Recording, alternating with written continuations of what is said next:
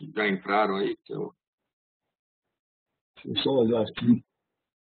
É...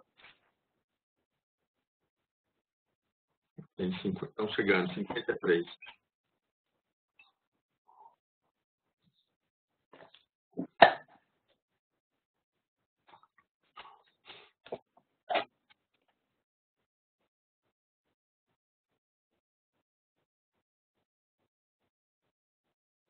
Mais um minuto para começar um número redondo, 14 e 5.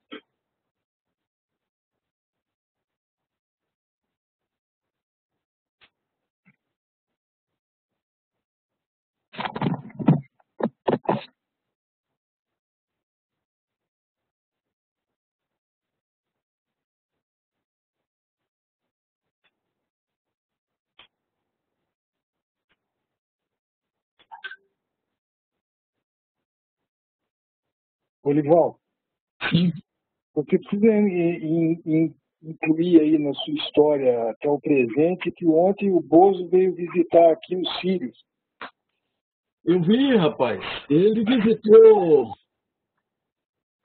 Bom, mas é isso, né? Tem, tem, que, tem que inaugurar, né? Foi uma, foi uma inauguração importante, porque esse negócio dos Sírios aí, rapaz, é uma coisa estratégica para a gente, né? Agora, não deixa de ser curioso em relação à discussão que a gente teve na aula passada, no papel dos militares e tudo mais. Eu me lembrei disso. É, então, agora, antes disso, ele esteve em Iperó, na Marinha, que é o, o, o eu até vou fazer um comentário hoje, onde a Marinha controlou o, a tecnologia de enriquecimento do urânio. Aí é nesse dia que ele dá a declaração de que com certeza a vacina não será obrigatória e tal. Quer dizer, eu fico pensando, é, esses altos oficiais da Marinha, rapaz, que têm uma formação científica avançada, como é que eles conseguem. Eu queria entender um pouco a mentalidade deles, como é que eles conseguem é, combinar essas duas coisas, entendeu? É, hierarquia, né? É. é acho que é isso. Acho que deve ser difícil. Né? Deve ser difícil, rapaz. É, o pobre do Pazuello foi desautorizado solenemente. É claro que o Dória também não jogou muito certo nessa história, querendo capitalizar a compra das vacinas, né? mas a, a reação do, do, do, do presidente foi um escândalo. Mas é hierarquia por um lado e por outro é espírito obnox. Conhece esse termo da, da filosofia política do século XVII, obnox? Não, não, não, diga aí, Alceu. Ah, não conhece? Não.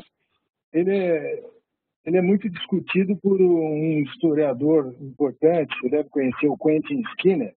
Sim, sim, sim, mas não conheço o termo. É, esse é um termo que surgiu na, na, na, na, na filosofia política inglesa, né? vários uh, pensadores lá, assim, radicais, uh, um pensamento radical, propuseram que, na verdade, todos os autoritarismos eles se completam com uma espécie de espírito, que é o espírito obnóxico, que é exatamente uma espécie de vontade de obedecer e de servir. Dizer, as pessoas tendem a ter essa espécie de contraponto psicológico, uma contrapartida. Não é a pura, o puro mando que explica, há também uma espécie de tendência de seguir o, comando, vamos dizer assim, a subserviência. Né? Eles estudam isso. O livro do Skinner que trata o livro do Skinner que trata dessa espécie de característica, vamos chamar, psicológica da, é, do autoritarismo está na chama Liberdade antes do Liberalismo. É um livro fantástico, vale a pena ler. Interessante, muito boa, muito boa dica.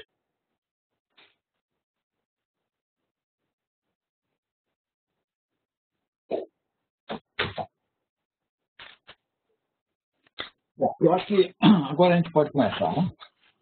É, então, boa tarde a todos. É, mais uma vez aí, boa tarde, obrigado aí ao Cílio, Anderson, Thaís, é, Guilherme, e também é, muito obrigado a todos que estão aí acompanhando o curso, os que têm inscrito, né? Volto a dizer que o curso tem sido uma experiência positiva de, de aprendizado para mim. É, espero que também tenha, esteja sendo positivo para vocês.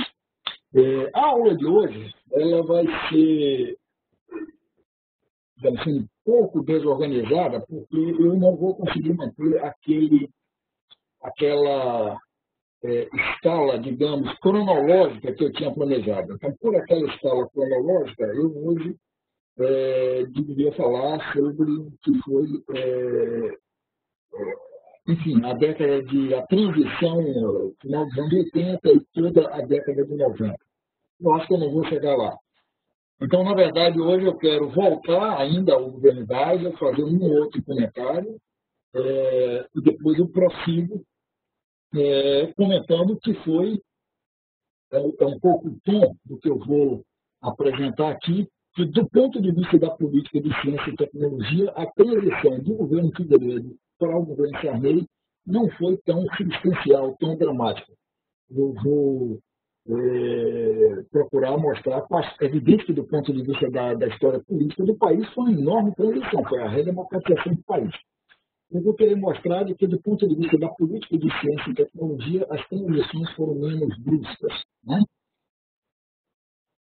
Bom, então, voltando a, ao que foi a, a, a, discussão da aula passada, é, eu tenho aqui um comentário, uma mensagem que, do Eduardo Vasconcelos, que eu vou é, desde já comentar, né? O Eduardo Vasconcelos, no fundo, ele quer saber é, é, enfim, ele disse que ele compreendeu bem essa questão do interesse militar em financiar a ciência no Brasil, estava né? é, calcado no interesse da física nuclear, é, também no interesse é, da busca pelo poder militar, por produtos tecnológicos, é, e ele volta, é, volta uma questão que a gente já comentou aqui no curso, mas que é importante trazer de volta. Ele diz assim, nesse sentido, qual foi qual teria sido, qual seria o papel das ciências humanas nessa reconstrução histórica que eu estou fazendo. É, então, eu quero retomar, eu quero tomar essa pergunta, comentar essa pergunta, em seguida eu quero voltar a comentar rapidamente é, a questão é, da cronologia da política nuclear, né?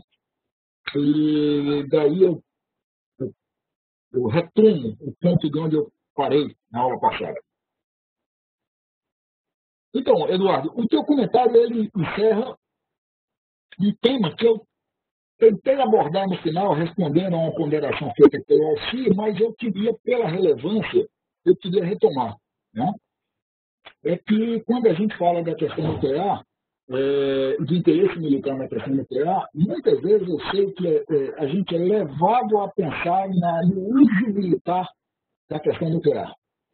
É, e e, e, essa é uma dimensão que certamente está presente na história eh, do Brasil no que diz respeito à relação com a questão nuclear. É, não, eu não tenho dúvida quanto a isso. É, é algo que é pouco documentado. É, quando é que esse, essa aspiração propriamente militar surgiu, mas reduzir o interesse militar é, na questão é, nuclear, o interesse dos militares na questão nuclear, a aplicação militar, é você ter uma visão, eu diria, é, circunscrita do problema. Não? O problema é mais largo.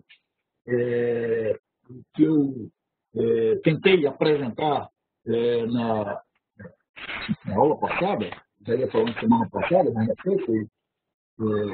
na terça-feira, o que eu tentei apresentar foi essa ideia de que, fida a Segunda Guerra Nuclear, ou Segunda Guerra é, Mundial, é, a questão nuclear redefiniu a, a agenda política e a mesma agenda econômica é, de vários países. É, eu fiz referência aqui à Espanha, que é o caso mais é, ostensivo, mas é, não é o único caso. Não? É, eu diria que, de certa maneira, o caso mais evidente é, da, da, da, da, reorganização dessas agendas é, é, o caso dos países que perseguiram a, a, é, a posse da bomba. É, veja, não nem me, me referir caso da União Soviética, que você pode pensar na grande polarização. Né? Mas veja, é, posta e bem estabelecida a Guerra Fria, é, não teve acordo do lado da Grã-Bretanha ou da França do tipo assim, não, nós estamos defendidos pelas, é, pelas armas atômicas é, é, dos Estados Unidos, e nem teve acordo do lado da China do tipo assim, não, nós estamos bem defendidos é, pela, pelas armas atômicas da União Soviética. Ou seja, essas três potências buscaram e obtiveram bomba. É, depois, uma série de outros, outros países buscaram a bomba por problemas regionais. Tá? Eu fiz referência aqui ao caso de Israel, ao caso do Paquistão, ao caso da Índia. É, outros países tentaram, a Líbia tentou, o Iraque tentou. E no caso do Brasil e Argentina, não tem dúvida, a, a questão nuclear é parte de um capítulo, de um aspecto mais longo da nossa história, é, que é a questão da rivalidade entre o Brasil e a Argentina. É, rivalidade essa que é, é contida, é modulada é, aí na transição é, dos anos 70 para os anos 80, particularmente ao longo dos anos 80. Né?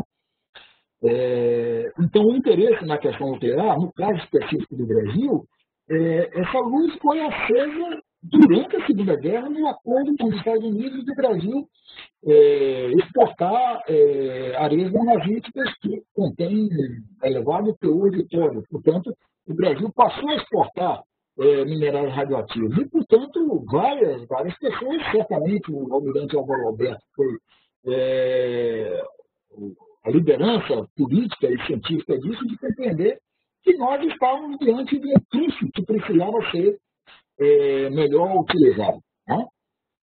E, por além disso, há toda a dimensão que também eu fiz referência do uso da, da, da, da energia, ou seja, a questão nuclear como fonte de energia, e do uso da energia é, da questão nuclear em aplicações industriais, aplicações na agricultura e especialmente aplicações na medicina. Então, é, é, na verdade, eu acho que a questão nuclear, ela para ser compreendida é, o interesse é, dos militares brasileiros na temática nuclear, na questão nuclear ampla que eu estou aqui comentando, a gente precisaria retomar um aspecto da nossa história, que eu não vou me estender aqui, mas eu fiz uma referência rápida é, na aula passada. É que é, o, o, tema, eu diria assim, é, que lições os militares brasileiros tiram da experiência desse governo mundial? Tá? É, ou, de um modo mais largo, é, que lições a gente pode tirar do, do, modo como os militares pensaram o Brasil ao longo do século XX, pensaram a modernização das Forças Armadas.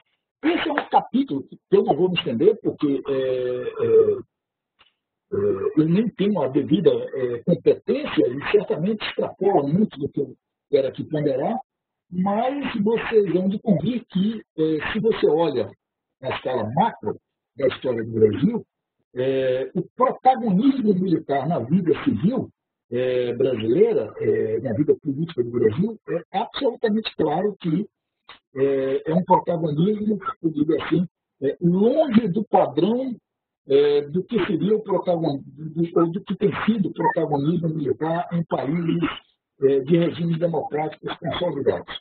Ou seja, no longo prazo é assim, você tem intervenção militar para proclamar a república, é, a revolução, você tem todo o movimento dos tenentistas na década de 20, o esforço de modernização é, do Brasil, a mentalidade da modernização estava associada ao tenentismo, é, a questão militar, o protagonismo militar está presente na, na, na, na, criação da Revolução de 30, é, no Estado Novo, é, o período democrático de 45 a 64 é um período com volta e meia você teve é, é, levantes militares, a gente fez referência aqui ao Bourdieu, tivemos outros casos, e depois o grande período de 64 a 85, e mais recentemente, por isso que eu quero dizer também que está fora do escopo aqui do curso, é, o atual é, governo brasileiro ele resultou de a conjunção de forças que apostavam na candidatura do atual presidente, entre as quais,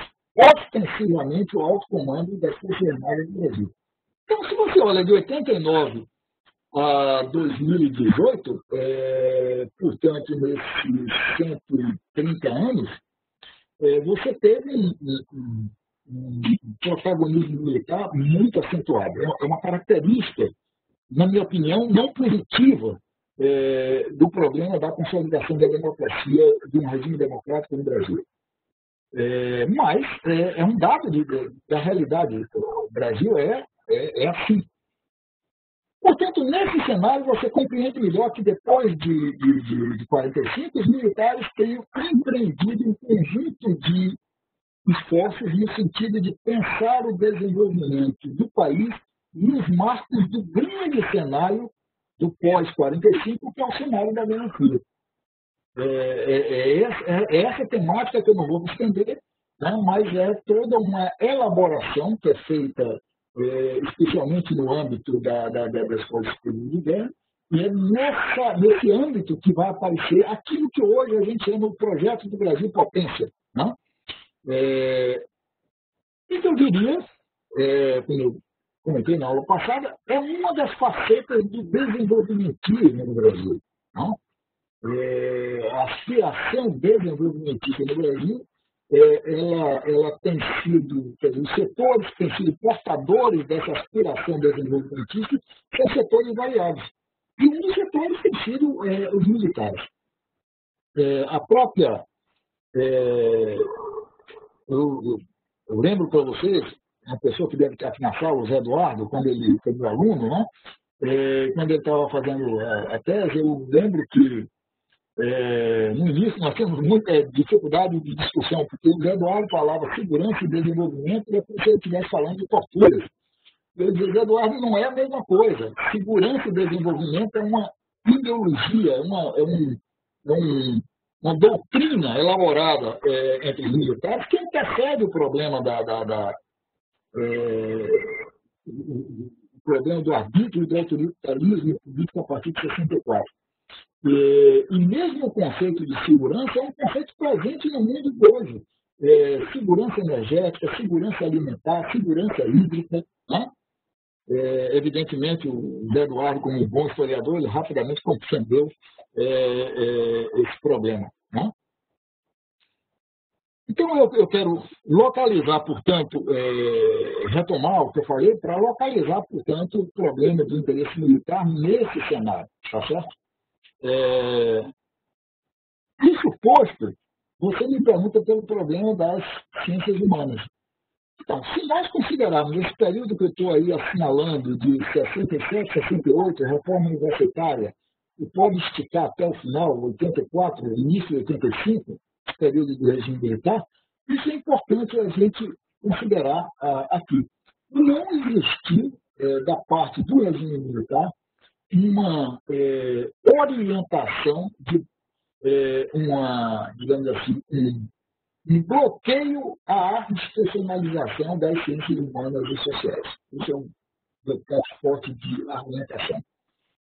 Isso não quer dizer que as ciências humanas e sociais não tenham sofrido mais do que outras disciplinas com o regime de arbítrio. Sofreram. Porque seu objeto de estudo era um objeto que era mais problemático para o regime militar. É, então veja que a, a, minha apreciação ela, ela tem, digamos assim, tem nuances que eu queria é, conduzir aqui. É, eu falei para você, você pode fazer uma estatística do número de caçados, nós tivemos muito mais professores caçados das áreas humanas e sociais é, do que da, da, área de física ou, ou, ou de outras áreas. Mas se você vai para a institucionalização da pós-graduação, isso é bem documentado hoje, a institucionalização da pós-graduação em história, economia, sociologia, antropologia, ciência política, ela é contemporânea da institucionalização da pós-graduação em outras áreas do conhecimento. Desde lá, 67, 68, o, o Parecer Sucupira, depois o, o, o o primeiro Plano Nacional de Pós-Graduação, né? É, é isso, isso hoje, portanto, é, é, bem documentado. Eu posso dar uma, uma ilustração, digamos assim, pequenininha, mas que, que mostra isso. Né? Uma das obras que nós estamos utilizando aqui no curso, foi o que é, é, me forneceu a motivação para o título do curso, que é o livro do, do Simon Schwartzman, ah, esse livro, é, Um Espaço para a Ciência, é, estou procurando ele aqui, está aqui. Ah, esse livro ele é produzido na década de 70 como, como, como é, resultado de um projeto financiado pela FINEP. Zé Lúcio Ferreira. É, e esse livro, ele tem todo um projeto de pesquisa por trás dele. É, como eu falei, tem, tem além da, da, pesquisa documental, teve um projeto de história oral que nos levou pouco mais de 70 entrevistas que estão hoje depositadas na Fundação Getúlio Vargas. Isso foi financiado pela FINEP. É, uma obra de história da ciência também que nos ajuda a repensar, nos ajudou a repensar essa ideia é, de que ciência no Brasil começou em 34 com a criação da USP, ou então assim começou com a República, tá certo? É, uma obra importante é a obra do Zé Murilo de Carvalho sobre a escola é, de Minas e Rio Preto, não? também financiado pela FINEP. Então, é, a gente não pode, portanto, eu, eu às vezes digo, talvez eu já tenha dito isso aqui no curso, que nos meus tempos de política estudantil, ali na década de 70, eu dizia isso. Não, tem financiamento, eu estava dentro do Instituto de Física, não queria dizer que não tinha financiamento para ciência e tecnologia, porque eu estava vendo ali financiamento, mas aí no diretório acadêmico, no DCL, que eu dizia, mas o financiamento não veio para as áreas humanas e sociais. Não era verdade, eu estava enganado. Né? A institucionalização veio.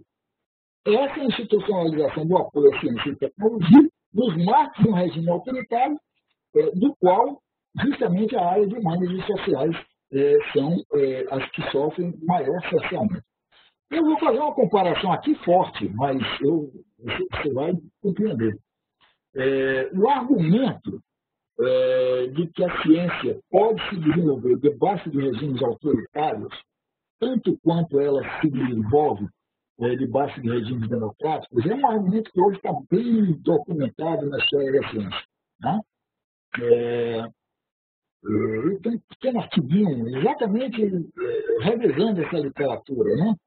É, e um dos exemplos fortes é o exemplo do desenvolvimento da União Soviética, da, da, da, da, da ciência na União Soviética. Né? É, no contexto da Guerra Fria, é, é, fez parte da disputa da Guerra Fria o argumento de que, é, dadas as circunstâncias você ter um, um regime autoritário na União Soviética, isso aí é, implicaria na, na, na, limitação da, da ciência, no travamento da ciência. Né?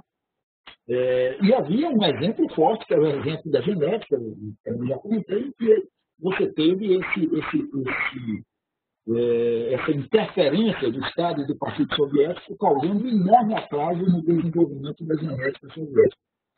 Entretanto, essa afirmativa de que a União Soviética não teve desenvolvimento científico é uma afirmativa que não resiste a nenhuma, não resiste a nenhuma análise. Eu também costumo, quando eu comento isso, dizer que é, boa parte dessa, dessa geração que estudou aí nos anos 70 é, é, mesmo Anderson, que é bem mais novo do que eu, mas ele deve lembrar disso, é, você tinha toda uma censura para livros, negócio de, de, de, livros, é, livros marxistas é, no Brasil, etc. e tal, todo esse, esse, problema.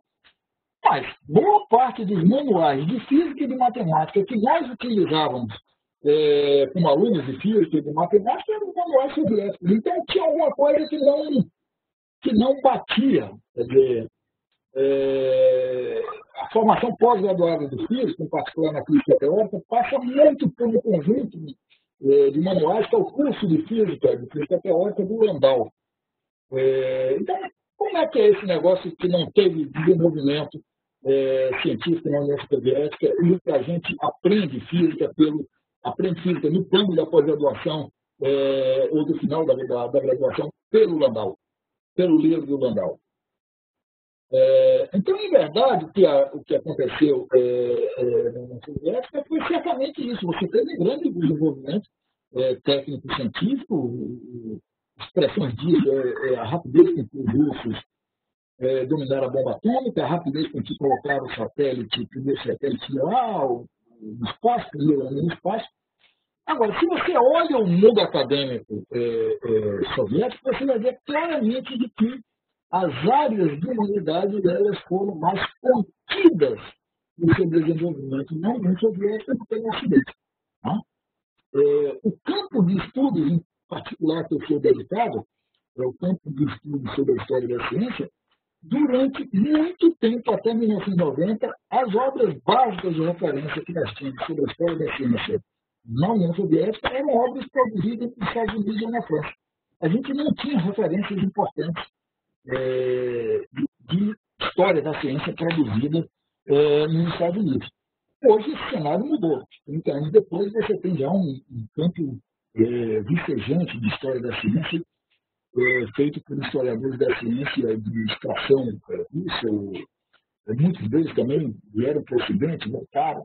Né?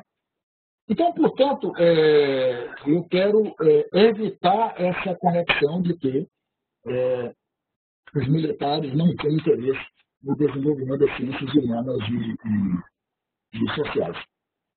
E eu quero voltar a citar esse pequeno artigo que eu eu prometi botar a referência aqui, mas infelizmente não, não, não, fiz isso, que é esse artigo assinado pelo professor Manuel Domingos é, Neto, é, é, em que ele, ele, exatamente a pretexto, é, a motivação dele é mostrar o descaso atual entre os militares em, relação à ciência no Brasil. E, e, ele lembra lá, por exemplo, assim, o interesse dos militares é, na, na geografia, na demografia, na estruturação do IBGE, porque era necessário para a estratégia de defesa do país. Então, portanto, uma barreira entre pensamento militar e é, ou instituições militares e ciências humanas e sociais, é, a, gente, a gente não deveria é, considerar essa é, uma barreira, uma, uma barreira pré-existente. É, eu não digo que essa barreira não possa ser criada em alguns momentos, mas eu também diria que é um desserviço às próprias instituições militares é, se tal barreira for criada. Né? É, aliás, essa temática que eu estou abordando, eu poderia estender para o outro lado. É muito comum você é, ver as pessoas às vezes dizendo, não, mas engenheiro não precisa ter formação urbana e sociais. E é sempre bom lembrar que nas boas escolas de engenharia não é assim as boas escolas de engenharia no Brasil e no mundo, você tem é, disciplinas de caráter humanístico, de, de voltadas às ciências sociais, dentro das escolas de engenharia. Tá? Então, essa é a minha, a minha ponderação mais larga sobre a sua pergunta. E quero lhe agradecer porque a sua pergunta me propiciou fazer essa digressão. Tá? Eu quero voltar para a questão nuclear. É, e quero é, relembrar alguns marcos cronológicos para voltar a falar é, do grupo da física da Unicamp. Né? É, os grandes marcos cronológicos é, são assim, é, a tentativa de dominar a, a, tecnologia implícita na questão nuclear é uma tentativa que certamente veio ali de 45, 46 para frente. É, a criação do CNPq, sem sombra de dúvida, a, grande motivação, é, inicialmente, era uma questão nuclear.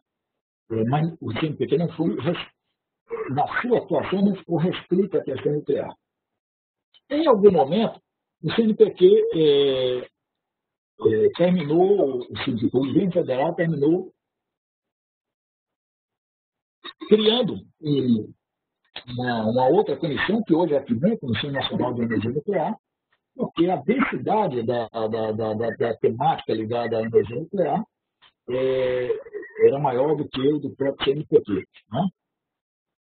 E nessa mesma esteira da institucionalização, em algum momento o Brasil é, criou esse instituto que ainda hoje funciona dentro do campo da USP, que é o Instituto de Pesquisas que tem em energia nuclear. Então, a gente tem todo um esforço, aliás, a própria física brasileira, é, ali no início dos anos 50, certamente energia, é, é, física nuclear é uma das áreas é, mais fortes. Depois você tem a variante física nuclear e é, é, engenharia nuclear. Mas muitas vezes a área nuclear não é propriedade só dos físicos, é dos químicos também. Né? aliás, esse esforço de formação então do, do, do, dos brasileiros, eu diria que, em termos iconográficos, está bem é, expressa naquela fotografia que eu exibi aqui nas aulas passadas, que é uma fotografia implícita, que está o Lattes, o Yukawa, é, o Leite Lopes, o Jaime Tiombo, tá certo? Vocês devem lembrar dessa, dessa foto, Walter Schutzer, e tem uma pessoa lá, que é o Hervásio de Carvalho. O Hervásio não era físico, o negócio do Hervásio de Carvalho, o que sempre foi a questão nuclear e ele vai terminar sendo diretor aqui e, e tudo mais. Tá? Então, nessa esteira, é, é, nessa esteira que vem o regime de 64, né? que é, o, a questão nuclear, no período inicial do regime militar, não tem grande atenção por parte do, do governo é, Castelo Branco, é, de modo compatível com a pequena atenção que a ciência teve é, em outras áreas é, durante o governo Castelo Branco, e, e vai, a questão nuclear vai adquirir um, interesse maior justamente na transição do governo Castelo Branco para o governo Constitucional. E ali, portanto, do governo Castelo Branco para o governo Constitucional, depois se projetando para é, o governo, é, o governo é, Médici, nós tivemos algumas iniciativas que eu diria que é, nem foram tão bem sucedidas e também trouxeram problemas na relação com a comunidade científica brasileira, que tinha uma forte componente em física nuclear. Então, essas medidas foram, primeiro, a aquisição de um reator, que é o reator comprado é, na Westinghouse. Não vou aqui discutir se é certo ou se não era certo é, comprar o reator. O importante é que a aquisição do reator foi uma aquisição tipo caixa preta, sem uma discussão é, de questões tecnológicas ou não, de transferência tecnológica. É, e tanto é assim que essa aquisição do, do que é o reator é a Angra 1. Tá? Se, tiverem oportunidade de visitar a Angra 1, a Angra 1 foi comprado da Westinghouse. É, e tanto é assim que o, o regime militar continuou buscando uma outra alternativa, vez que não buscou uma alternativa de comprar um segundo reator da Westinghouse, um terceiro, um quarto, um quinto. É, porque se compreendeu de que aquele reator da Westinghouse não era um caminho para a transferência de tecnologia. Então, é nesse caminho que é, o governo Geisel vai promover, vai realizar o acordo com a Alemanha. É, e esse acordo, o efeito desse acordo, aliás, é pouco estudado em termos de história. Né? É, a gente sabe pouco, a gente, eu não conheço um estudo histórico sistemático que nos mostre qual o verdadeiro legado, mas a gente sabe que algumas das grandes promessas do acordo nuclear não se realizaram. É, primeiro, a transferência de é, tecnologia para o enriquecimento do urânio porque os alemães incluíram no acordo uma tecnologia é, de é, jet nozzle, é, que era uma tecnologia que não estava testada em escala é, operacional nem na Alemanha. É, e, efetivamente, essa tecnologia, não, até hoje, ela não é operacional. É, então, essa é uma das falhas. A outra falha é que esse acordo era ambicioso nos custos, é, porque ele envolvia a construção de seis usinas nucleares, aí sim com mecanismos de transferência de tecnologia. Tá? É, efetivamente, essas usinas nucleares não foram construídas, uma delas foi construída, a outra até hoje, é, no Brasil, o custo foi muito elevado, o Brasil depois renegociou esse acordo, tá? é, o acordo ficou limitado a mais duas é, é, usinas nucleares e a MBT está ainda é, sem concluir. Esse é o cenário é, do, do, do, da tentativa brasileira de busca é, da tecnologia, é, do domínio da tecnologia nuclear, eu diria, no exterior. Eu não estou entrando em, detalhes. Tem, tem, tem outras tentativas que o Brasil fez ao longo dos anos 60 de buscar, por exemplo, pela via da França, né, em, em acordo com a França, também é, terminou não, não, não sendo tão bem sucedido. Né? Mas é, o quadro da política nuclear que eu estou traçando, ele ficaria incompleto sem dois elementos que estão faltando aqui. O primeiro elemento é que, é, veja, é um elemento que poderia não ter sido assim, como eu vou descrever agora. É, veja, o, o, a, a, o regime militar não teve uma incidência forte sobre a comunidade dos matemáticos. Tá? É, teve uma incidência bem menor na comunidade dos químicos. Teve uma incidência fortíssima na comunidade dos pesquisadores na área da saúde, na área da medicina. E teve uma incidência expressiva na área da física. Já fiz referência aqui ao Chamber, Lutz Lopes. Ainda que esses físicos não trabalhassem exatamente com física nuclear, é, na verdade, trabalhavam com o que a gente chama de física nuclear de altas energias, que no fundo é física de partículas e de campos, né? mas é, essas cassações é, e essas perseguições estremeceram a relação entre a comunidade brasileira, a comunidade científica brasileira, em particular a comunidade dos físicos e o governo militar. É, e esse é, estremecimento teve como um dos efeitos é que o Brasil foi mal assessorado na assinatura desse acordo com a Alemanha. É, certamente teve assessoria científica, não digo isso, mas um acordo desse porte é um acordo que tinha que ter passado por um crivo mais largo é, de técnicos, é, de, de, de, cientistas brasileiros, e certamente chamariam a atenção de alguns dos problemas que estavam presentes é, naquele acordo. Então, essa, esse é um elemento que eu quero é, é, me referir. É, eu diria que, no limite, ocorreu uma espécie de divórcio entre a comunidade científica brasileira dedicada a, ou pelo menos uma parte dessa comunidade, dedicada à física nuclear e à política nuclear brasileira.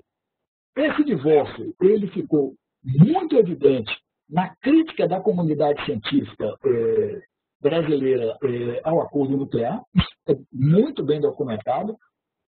Ah, ali, em 75, 76, eh, a Sociedade Brasileira de Física, eh, o encontro da Sociedade Brasileira do Progresso e da Ciência, não tanto o de o, o, o, de Belo Horizonte, mas o de 75, que foi o de Brasília, a, a temática do acordo nuclear foi debatida largamente é, e é, profundamente criticada. Né? É, a temática do acordo nuclear com a Alemanha. E curioso, é, os principais porta-vozes dessa crítica eram, sei lá, o Sala, o Leite, que estava no exterior, o Leite Lopes, o, o, o, é, o Schember, que foi um dos críticos, que estava aqui no Brasil, mas o livro do Guilherme, eu já fiz propaganda, Guilherme, depois dos royalties do livro você me dá um percentual, tá certo, Guilherme? O livro do Guilherme traz uma peça de informação que eu não tinha, não? É, é que o, o, o, o Siqueira Leite ele foi um das pessoas ativas na crítica ao acordo nuclear Brasil-Alemanha. É, e isso, de certa maneira, manchou a folha do Siqueira Leite na relação com o regime militar. E isso teria interferido em outros momentos, no momento em que o Siqueira Leite poderia ter se transformado no reitor da Unicamp. Eu achei essa história é, interessantíssima, Guilherme, porque ela expressa isso que eu estou chamando esse divórcio. Né? Eu tenho uma outra evidência também pequena, mas eu estou falando do fenômeno e estou trazendo uma outra evidência. Né? É, eu trabalhei muito próximo de um grande físico nuclear brasileiro, que foi o professor Ernesto Burri.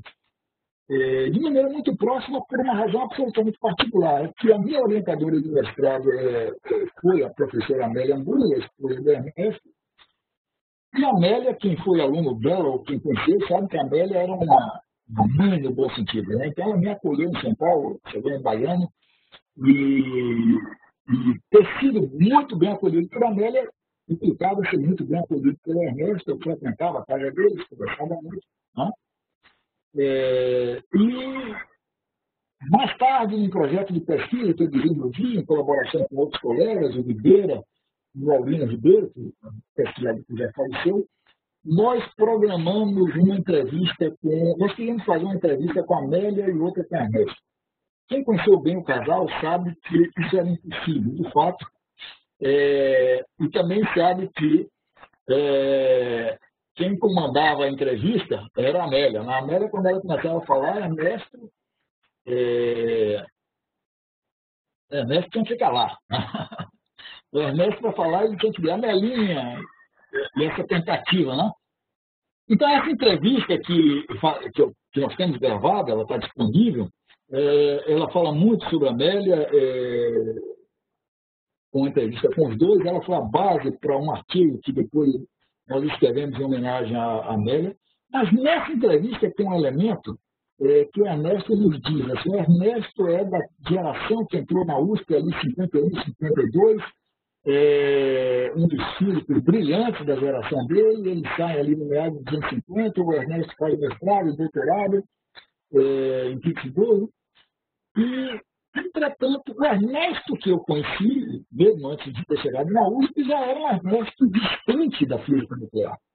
Era um Ernesto voltado para o ensino, para a divulgação científica, foi o criador é, da Estação Ciência em São Paulo, é, e aí nós fizemos é, várias perguntas ao Ernesto é, sobre a trajetória dele e a resposta é impressionante. Né? Fizemos algumas perguntas sobre os debates que eles tinham organizado ali em 68, né? e o Ernesto nos diz exatamente o seguinte, que ele, quando volta ao Brasil, depois de um pós-doutorado no exterior, ele volta depois de 64, ele se desencantou da ideia de continuar atuando na física nuclear, porque a física nuclear era uma área que certamente serviria aos objetivos dos militares de uso eh, da energia nuclear, eh, da física nuclear, com fins militares associados ao reforço, na visão da Ernesto, ao reforço do regime militar, ao reforço da eh, ditadura militar. É, a fala de Ernesto ela, ela, tem consistência, porque todos os países que é, passaram a dominar a tecnologia nuclear a tecnologia da, é, da, das bombas, todos os países passaram a ter orgulho de ter a bomba. É, esse negócio de não querer ter a bomba é o tipo dos países que não tiveram a bomba. Você repara com os franceses, com os britânicos, com os israelenses. Com, é, esses dias eu estava aqui comentando com da companheira, uh, e ela lembrou, ela trabalha na área de saúde, ela lembrou que quando os paquistaneses é, anunciaram o controle da bomba, que teve carnaval nas ruas é, de algumas das cidades do Paquistão, né? porque era orgulho nacional ter a bomba, especialmente porque a Índia também é, já tinha é, a bomba. Então, Ernesto diz, portanto, que ele se afastou da área da física nuclear é, para para é, se dedicar aos desafios do ensino. É assim que ele teve várias iniciativas relacionadas ao ensino. É, o Ernesto foi o criador do programa de é, ensino de física da, da USP, né? Mas eu conto esse episódio do Ernesto para mostrar, portanto, que certamente muitos físicos nucleares brasileiros continuaram integrando é, é, em relação próxima com, com o regime militar mas isso não era feito num ambiente de distensão. Algumas aulas atrás aqui, o, Anderson falou no, papel da, da liberdade para debater, para criticar como inerente à ciência. É, relacionado a isso, Anderson, é, eu diria assim, é preciso um certo ambiente de entusiasmo de que o que você está fazendo é importante para o país. Né? Eu acho que muitos de nós que é, se dirigiam para a física, para matemática, essas coisas tinham, ou que você vai para outra área, se você vai para a área de saúde, você tem esse, espírito a seguir é, é, ao próximo. Eu acho que na área nuclear nós passamos a ter essa dificuldade. É, e aqui eu faço um comentário para o Guilherme, uma coisa para a gente pensar depois, Guilherme. É, você me chamou a atenção assim, o Marcelo Gambi era o cara da área de física nuclear, teve no campo, será que a, o conflito dele, que levou ao afastamento dele, como é que isso se encaixava na, é, na área, é, na hipótese que eu levantei aqui de aproximação, é, é ou seja, do, do, do, Instituto de Física da Unicamp corresponder a um certo projeto, é, digamos assim, dos militares na, na área nuclear. É uma coisa que certamente a gente precisa investigar, mas eu diria que um físico como o Marcelo Gami é exatamente uma das pessoas que estava completamente à vontade naquele novo cenário. É... Aí eu, eu não sei exatamente, mas tem um momento que ele vai sair daqui. Né? Ele, vai, ele, ele, vai deixar de ser doutor daqui. Né? Acredito, inclusive, que logo depois de 64, aí eu, eu, eu posso estar confundindo as datas. Né? Então, esse é, é, é, é, um lado, ou seja, de certa medida, o Brasil se beneficiou pouco da comunidade de física nuclear que o Brasil estava formando aos poucos. Agora, a outra componente que sem essa a história não fecha é que, em algum momento na década de 70, é, os militares chamaram para si o desafio de dominar o ciclo da energia nuclear. É, hoje a gente sabe do título, Problema Nuclear Paralelo, mas nós não temos é, estudos históricos, é, os estudos que têm, se batem com o problema de, de, de é, não só é, do sigilo, porque está relacionado a um assunto militar, mas também porque o desfecho de tudo isso o resultado mais palpável desse esforço é que o Brasil passou a dominar o ciclo do enriquecimento do urânio usando essa tecnologia é, da centrifugação. É, e isso hoje tem interesse é, econômico, industrial imenso. Né? E, portanto, é difícil fazer história, é, é difícil fazer uma boa matéria jornalista, é difícil documentar isso, porque é, você está numa área que tem problemas de sigilo é, não só militar, mas também é, industrial. É, e, portanto, é nesse último capítulo que eu inseri um discurso é, é, relacionado à, assim, à vinda do, do, do, do porto para o Brasil. Né? Eu agora quero voltar a colocar uma imagem para prosseguir aqui com a minha narrativa, porque eu deixo, é, assim, eu voltei a,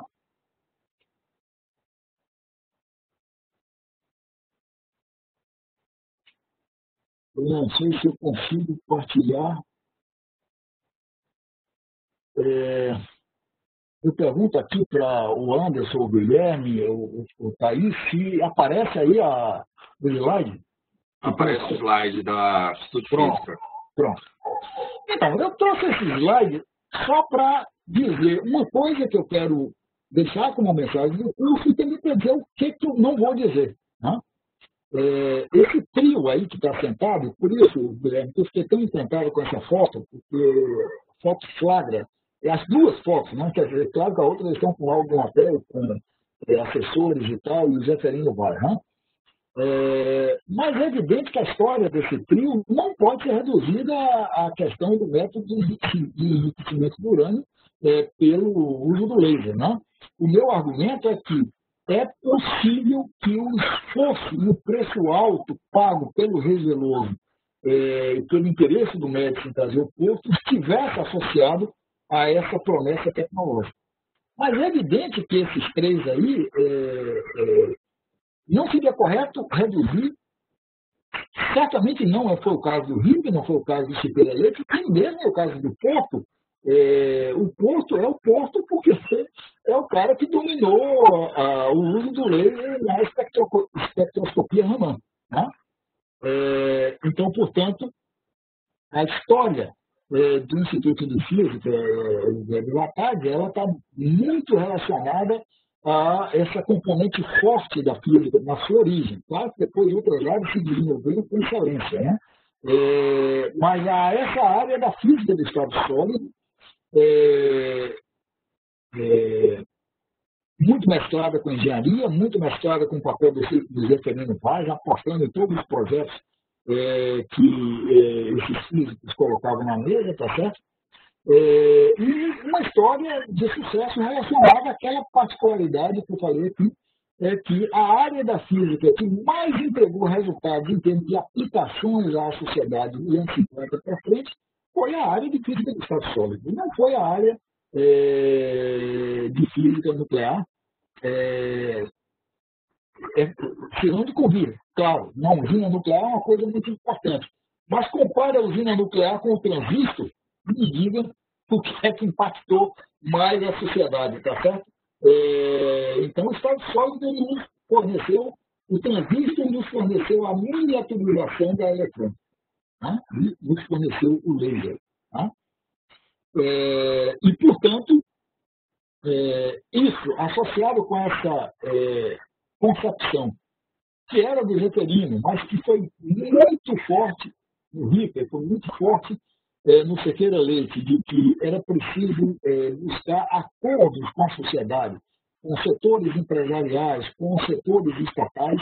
É, tudo isso é o que motivou, tudo isso foi o, o, o, o, o terreno fértil para que é, a, o Instituto de Física de Batalha tem sido um dos protagonistas, claro, junto com a área da engenharia, é, no que resultou numa das mais bem-sucedidas, se não a mais bem-sucedida, experiência brasileira de interação da ciência, da ciência básica com é, a sociedade, é, que é essa área que se expressou em torno do, da criação do polo de tecnologia no tempo, que é o, exatamente a temática do livro aqui do, do, do, do Guilherme Gorgulho. Né? É, o que eu não vou falar? Eu não vou falar sobre o, o, o polo de tecnologia do Unicamp. Tá? É, não vou é, me estender por aí.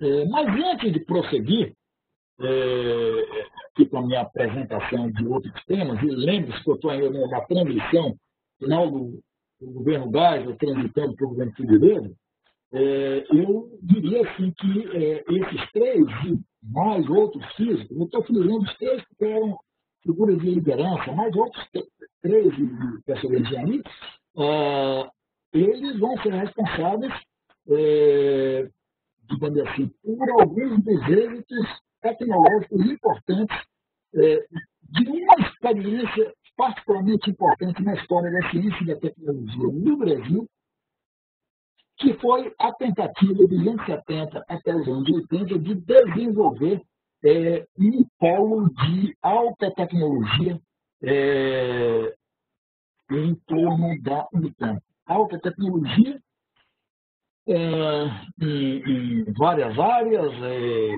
área de química fina, mas a, o que me interessa chamar aqui a atenção é essa área que envolve telecomunicações e informática. Tá? É claro que isso não foi só um campo.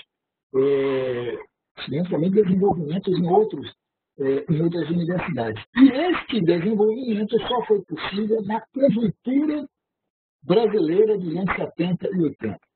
E aqui, então, eu já começo a transitar do governo Gás para o governo Figueiredo e do governo Figueiredo para o governo Sarney. Eu quero argumentar de que não tem distinção essencial do ponto de vista da ciência e da tecnologia no Brasil governo Gás, governo Figueiredo e governo Sarney. Nós vamos ter uma grande distinção na entrada do governo Collor e dos anos 90. Tá? E esse, essa chave do sucesso, de um lado, claro, é o apoio à ciência e tecnologia, mas do outro lado é uma política econômica de, é, combinada com a chamada reserva de mercado, é, com a tentativa de dominar é, elementos é, da, da cadeia de inovação tecnológica. Particularmente na área da eletrônica, particularmente na área das telecomunicações. Eu não vou me estender muito. Né? É, eu, o livro do, do, aqui do Guilherme é, tem um momento que ele dá um exemplo, que eu vou usar, mas eu vou acrescentar dois outros, Guilherme. É, ele, e, e, e, a gente sabe de que esse, esse esforço, a gente vai comentar depois, mas esse esforço, de certa maneira, portanto, esse esforço é, tecnológico, científico-tecnológico e industrial, esse esforço vai terminar sendo é, truncado é, na década de 90 com a onda da globalização, com a onda do neoliberalismo, e no Brasil, em particular, com a transição para o governo Collor, que foi uma tragédia é, sem limites. Tá certo? O Guilherme ele cita vários exemplos, e aí ele cita um é, curioso, Guilherme, eu, eu, eu, eu, costumo citar três exemplos para mostrar onde que a gente chegou é, em termos de desenvolvimento é, nessas décadas, desenvolvimento nessas áreas.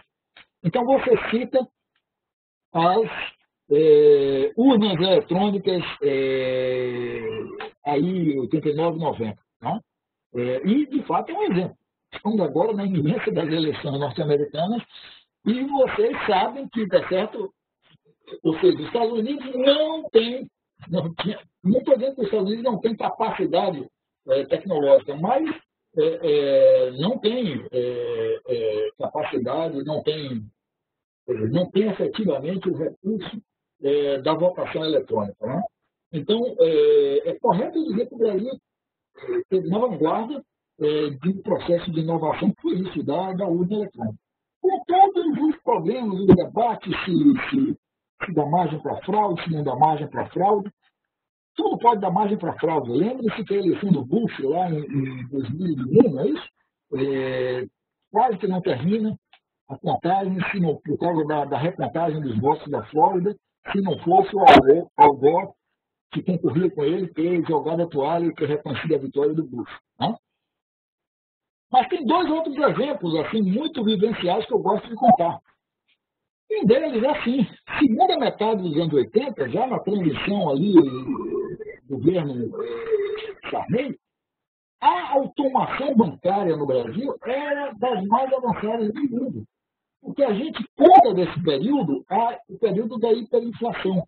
E sabe que o período da hiperinflação, a saída que as camadas de renda média tinham para segurar o efeito da inflação era a saída era aplicar no chamado overnight, aqueles empréstimos de curtíssimo prazo. Uma camada, a camada da sociedade brasileira é, mais desprovida não tinha esse recurso. Né? Mas essa camada da classe média para cima, professor universitário, eu lembro, todos nós pegavam o salário e botavam no overnight. E você tinha dia a dia, 24 horas depois você ia lá e puxava o, o, o, o extrato da sua conta, tá certo? E estava lá impresso é, quanto que você tinha é, aumentado de um dia para o outro. Não tinha aumentado nada, a inflação é que tinha é, é avançado mais rápido. Né? E eu gosto de contar essa história para dizer assim, olha, isso foi é, é, final dos anos 80. Muito tempo depois, na altura aí de 2008, eu passei um período de 60 dias na Inglaterra, trabalhando nos arquivos, e precisei fazer um depósito bancário para pagar o aluguel da casa que eu estava. Eu fiquei absolutamente chocado de que tinha uma agência, agência onde eu fui fazer o depósito, a pessoa anotou, bateu carimbo, no, pegou o dinheiro, bateu carimbo no depósito, bateu carimbo, me entregou, e eu perguntei quando é que o, o, o, valor ia entrar na conta, e entrar na conta uma semana depois. Né? É, eu sei que tudo isso tem que ser simplificado, porque um país que não tem inflação, inflação mínima, é, não opera muito se o dinheiro entra na conta uma semana ou uma semana depois. Né? Mas é, é, tudo isso é para ilustrar, ah, digamos assim, o patamar de avanço tecnológico que nós chegamos na informática. A informática bancária brasileira é, esteve aí é, nessa linha de frente. Né? É, não por acaso, um dos grupos bancários brasileiros, que Itaú ganhou, eu não sei como é hoje, mas ganhou muito dinheiro também produzindo é, computadores. Eu me lembro que os primeiros PCs produzidos no Brasil, um deles era produzido diretamente pelo Itaú. Né? E o outro exemplo é mais caricatural, isso aí é a altura de 91. É, então, os mais velhos aqui na sala devem lembrar do famoso cartão telefônico da, é, da Telebrás, lembra? É aquele cartaz, aquele cartãozinho, tá certo, magnético, que enfiava na, no aparelho telefônico e é o cartão que substituiu a, a ficha telefônica. Em 91 eu fui fazer um estágio na França. E lá fiquei absolutamente chocado, porque convivendo com os três ou quatro colegas brasileiros lá, nos casos de curta duração, é, o cartão da França Telecom era um cartão é, com um chip enorme, invisível na, na, no cartão, de modo que tinham dois brasileiros lá que eram especialistas em pegar o cartão da França Telecom e na eletrônica caseira, mexer no chip de modo que esse pessoal falava indefinidamente com o Brasil com o mesmo cartão telefônico. O cartão da Embratel é, é, da Telebrás era um cartão que estava é, é, quilômetros é, em termos de desenvolvimento tecnológico, porque não podia ser é, falsificado como esse cartão da France Telecom era. Então é essa história que eu quero é, comentar. Agora eu vou passar adiante, ainda no governo Geisel, tá certo? É, para chamar a atenção seguinte, nós falamos demais aqui da Unicamp, nós falamos demais aí do Siqueira, do Ritter, do, do Porto. É preciso agora a gente mostrar um pouco é, é, outras áreas, outros estados. Então, é, ainda no, no plano é, é, transição do governo Geisel para o governo Figueiredo, tá certo? É, eu quero chamar a atenção é, de uma das áreas, tá certo? É a área das ciências agronômicas. Nós tivemos uma explosão na pesquisa em ciências agronômicas no Brasil ali no início dos anos 70. Pesquisa em agronomia no Brasil remete ao período de Império. Vocês sabem disso, vocês estão ali em Campinas sabem que o Instituto Agronômico de Campinas é do período do Império, ele fazia boa é, pesquisa. Né? É, então, o que eu quero aqui falar é de uma explosão na pesquisa em agronomia, aí no início é, da década de 70, o ministro da Agricultura era o Alisson Paulo Melo, se eu não estou enganado, e ele vai é, liderar a criação da Embrapa. É, a solução arquitetônica institucional da Embrapa pode, pode ser simples, mas veja, ela é uma precursora do que a gente chamaria da pesquisa em rede. Porque a Embrapa foi o seguinte, nós vamos interligar todas as unidades de pesquisa agronômica que tem espalhadas no Brasil é, uma grande holding chamada Embrapa, é, que vai estimular a pesquisa é, em agronomia. Você pode imaginar o impacto disso. É que se você está querendo pesquisar a, a, mandioca, por exemplo, crucial aqui no Nordeste, tá certo? É, ou sei lá o quê, é, cana-de-açúcar, tá certo? É, essa pesquisa pode não ser tão relevante para uma unidade de agronomia localizada, em pesquisa agronômica localizada no Rio Grande do Sul, que também tem um grande instituto. Aliás, é o atual campus é, da, da, Federal do Rio Grande do Sul era onde era o campo da Escola de Agronomia. Às vezes, quando eu vou em Porto Alegre, o pessoal, às vezes no táxi, é mais fácil você dizer assim, passa para passa o, o prédio da agronomia, porque o campo da Federal do Rio Grande do Sul, na memória do gaúcho, ainda é um campo assim, é depois da agronomia, não?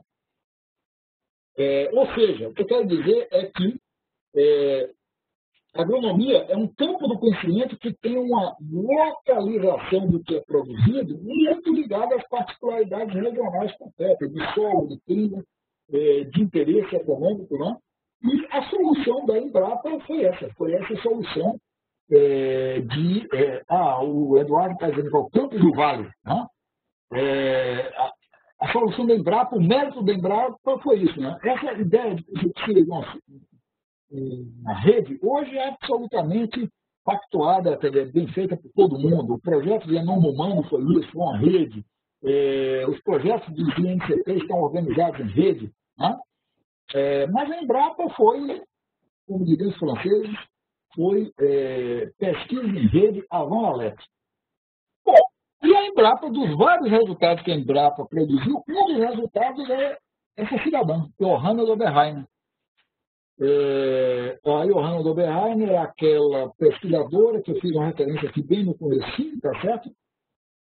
É, tcheca de fala alemã, ela acaba a Segunda Guerra, a parcela falante alemão dentro da, da Tchecoslováquia encontra dificuldade e, e ela, ela começa a procurar opções insatisfeitas, e aí ela e o marido resolvem seguir o trajeto do pai da Johanna, que tinha emigrado para o Brasil, é, o Kubelka, é, atraído por um outro, já estava aqui, que é o Fritz Feiber, que já falei aqui, como estudante químico que se incorporaram ao Brasil é, ali dos anos 40 para os anos 50.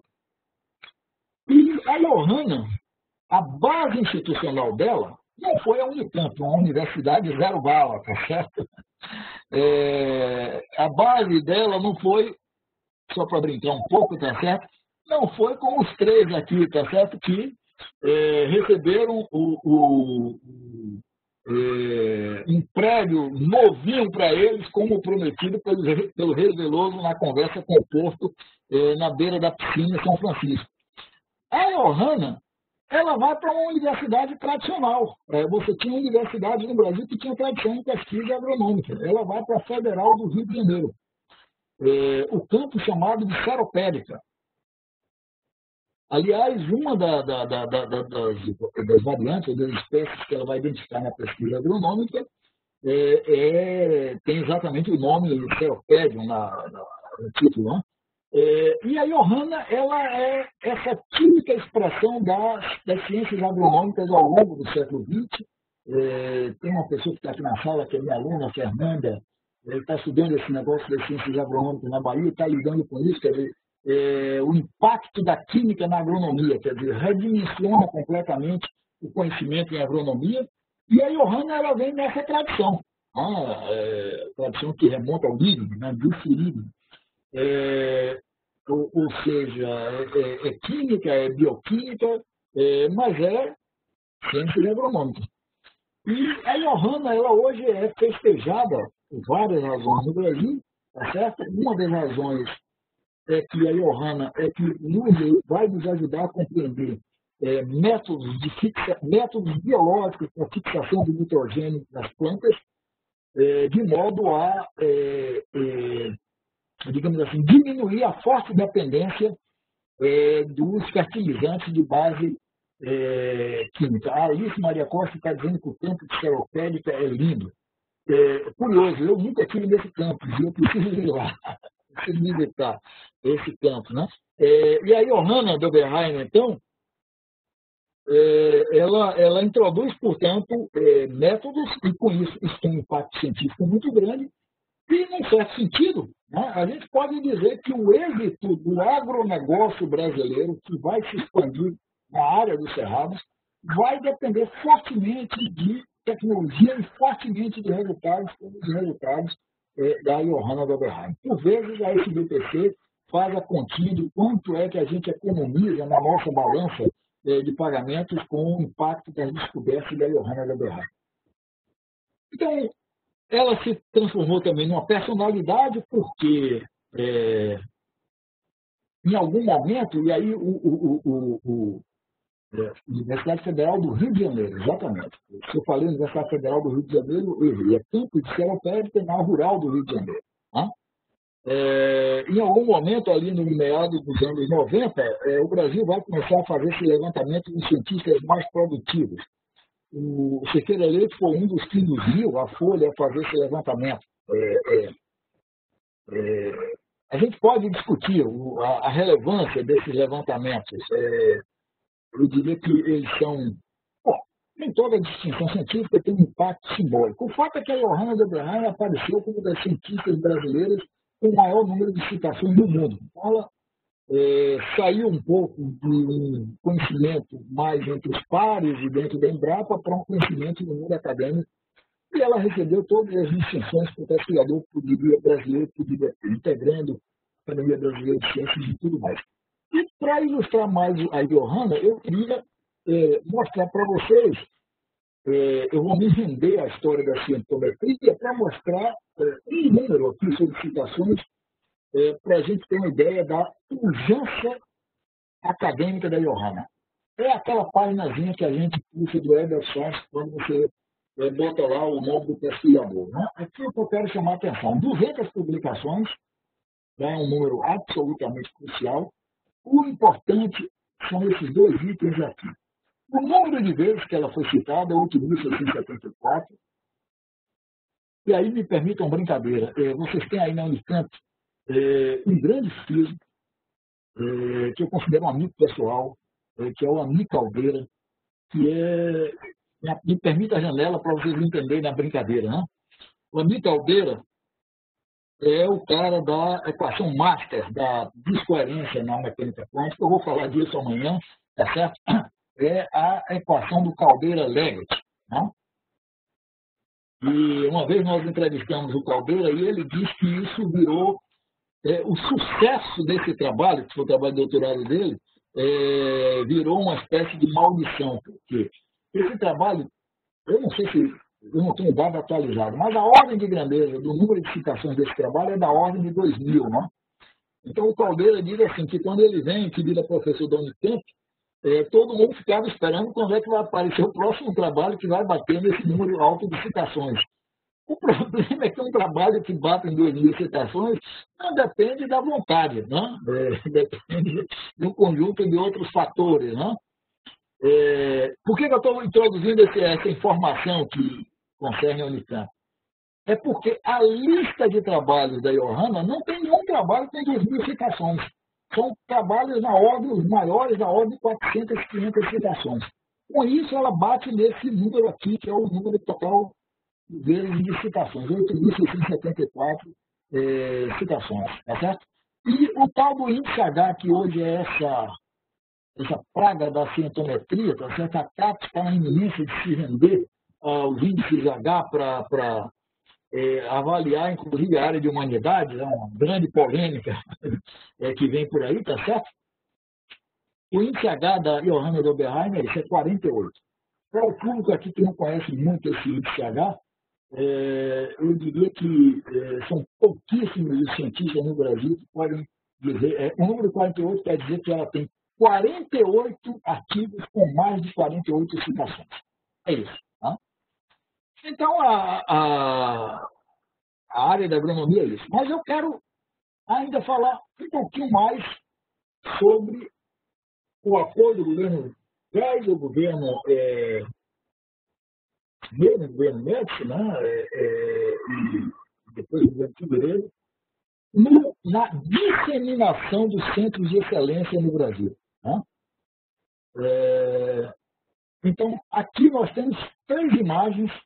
É, vocês vão entender que a terceira é, é do, do Rinaldo é, Cavalcante, que foi reitor da Federal da Paraíba, foi presidente do CNPq, até hoje lembrado como um grande presidente do CNPq, e eu, e eu não, não coloquei o nome é, de um cientista da área de engenharia elétrica da Federal da Paraíba, principalmente da área de Campina Grande, que é onde o Rinaldo, como reitor, ajudou a criar, aí por dificuldade da minha parte de é, destacar um nome dentro da engenharia elétrica. Então, eu resolvi o nome do Rinaldo também porque o Rinaldo foi um dos grandes gestores de ciência e tecnologia. E eu diria que o Linaldo foi o Zeferino Vaz nordestino? Porque a Federal da Paraíba é o que é, em grande parte deve-se a Linaldo. É curioso que o mesmo espírito do, do, do, do, do Zeferino, que dos meus comunistas estudo eu, é, reza a lenda que o Linaldo na Paraíba tinha a mesma conduta. Né? É, desde que não enchesse muito o saco, não se metesse muito em atividade é, político-partidária, o, o Linaldo garantia, dava cobertura a esse pessoal. Aqui na minha esquerda está, quando você fala aqui da Federal de Pernambuco, o Sérgio Rezende. Muita gente acha que o Sérgio Rezende é pernambucano. Né? O Sérgio Rezende virou ministro da Ciência e Tecnologia é, pelo PSB de Pernambuco, é, foi secretário de Ciência e Tecnologia de Pernambuco, foi é, presidente da Fundação de Amparo Pesquisa de Pernambuco, e tem muita gente que acha isso não, que é, é pernambucano. É uma doce ilusão. O Sérgio Rezende, que é um dos melhores filhos que o Brasil já produziu, né? o Sérgio Rezende é carioca. Se forma pelo MIT, chega aqui em 69, 70, vira professor é, da PUC em trânsito para a Unicamp. Aí eu tô, posso estar enganado se ele chegou a ser professor da Unicamp ou não, mas estava em trânsito para a Unicamp. Quando ele é capturado é, pelo CNPq, em particular por um personagem que é um personagem, é, o Sérgio Mascarenhas, que na época é, é, ele não era diretor científico é, no CNPq, o diretor científico era o, o um médico, Moreira, já já o, o, o nome vem todo na, na minha cabeça foi um grande diretor científico do CNPq. Ele foi diretor científico de 1960 até os 1980, alguma coisa desse tipo. Mas o, o, o, Moreira dava grande liberdade aos coordenadores de área, é, essa figura, o que hoje corresponderia ao diretor é, do CNPq, hoje com menos autonomia. E o Sérgio Mascarenhas é o cara que é, recebe, é, recebe é, a visita de um grupo de alunos de engenharia pernambucanos. Para você que se inquietava, é, Anderson, com o que é que há que é o melaço da cana que faz Pernambuco pegar de tanto físico, tanto engenheiro, né? é, esses alunos estavam estudando é, engenharia na PUC do Rio e procuram o Sérgio Mascarenhas porque eles estavam interessados era em física, eles queriam é, ver como é que o CNPq podia apoiar a criação de um bom departamento de física na Federal de Pernambuco. E o Sérgio Mascarenhas se movimentou, acionou o reitor da Federal de Pernambuco a Federal de Pernambuco não era uma universidade nova, como a Unicamp, como um perfil mais próximo é, dessas universidades, tipo a Federal do Rio de Janeiro, a Federal de Minas Gerais, ou seja, você tem as escolas, é, cada uma com seu feudo, com a sua força, né? Mas o Sérgio Mascarenhas, então, chama o, o Sérgio Rezende para assessorar o projeto de criação do Departamento de Física da Federal de Pernambuco. Uma área em que o próprio Sérgio Mascarenhas tem excelência Sérgio Mascarenhas é um pesquisador da área de física da matéria condensada, um dos precursores. Né? E, e ele, ele queria que levar o Sérgio Rezende para Pernambuco para passar dois anos lá. E o Sérgio Rezende, vocês podem imaginar, carioca, para ele sair de lá do Rio para Campinas já era uma, um sacrilégio, né? É, mas aí o Rezende faz um acordo de que ia passar três meses em Pernambuco para começar a instalar é, o projeto. O projeto que finalmente foi instalado foi muito menor do que o projeto inicial. Nós estudamos isso, a documentação disso. Era um projeto muito ambicioso. Eu não diria que tão ambicioso quanto o Departamento de Física da Unicamp, mas tão próximo disso. Era de trazer não sei quantos é, físicos do exterior, foco concentrado em, em, em matéria conversada, né?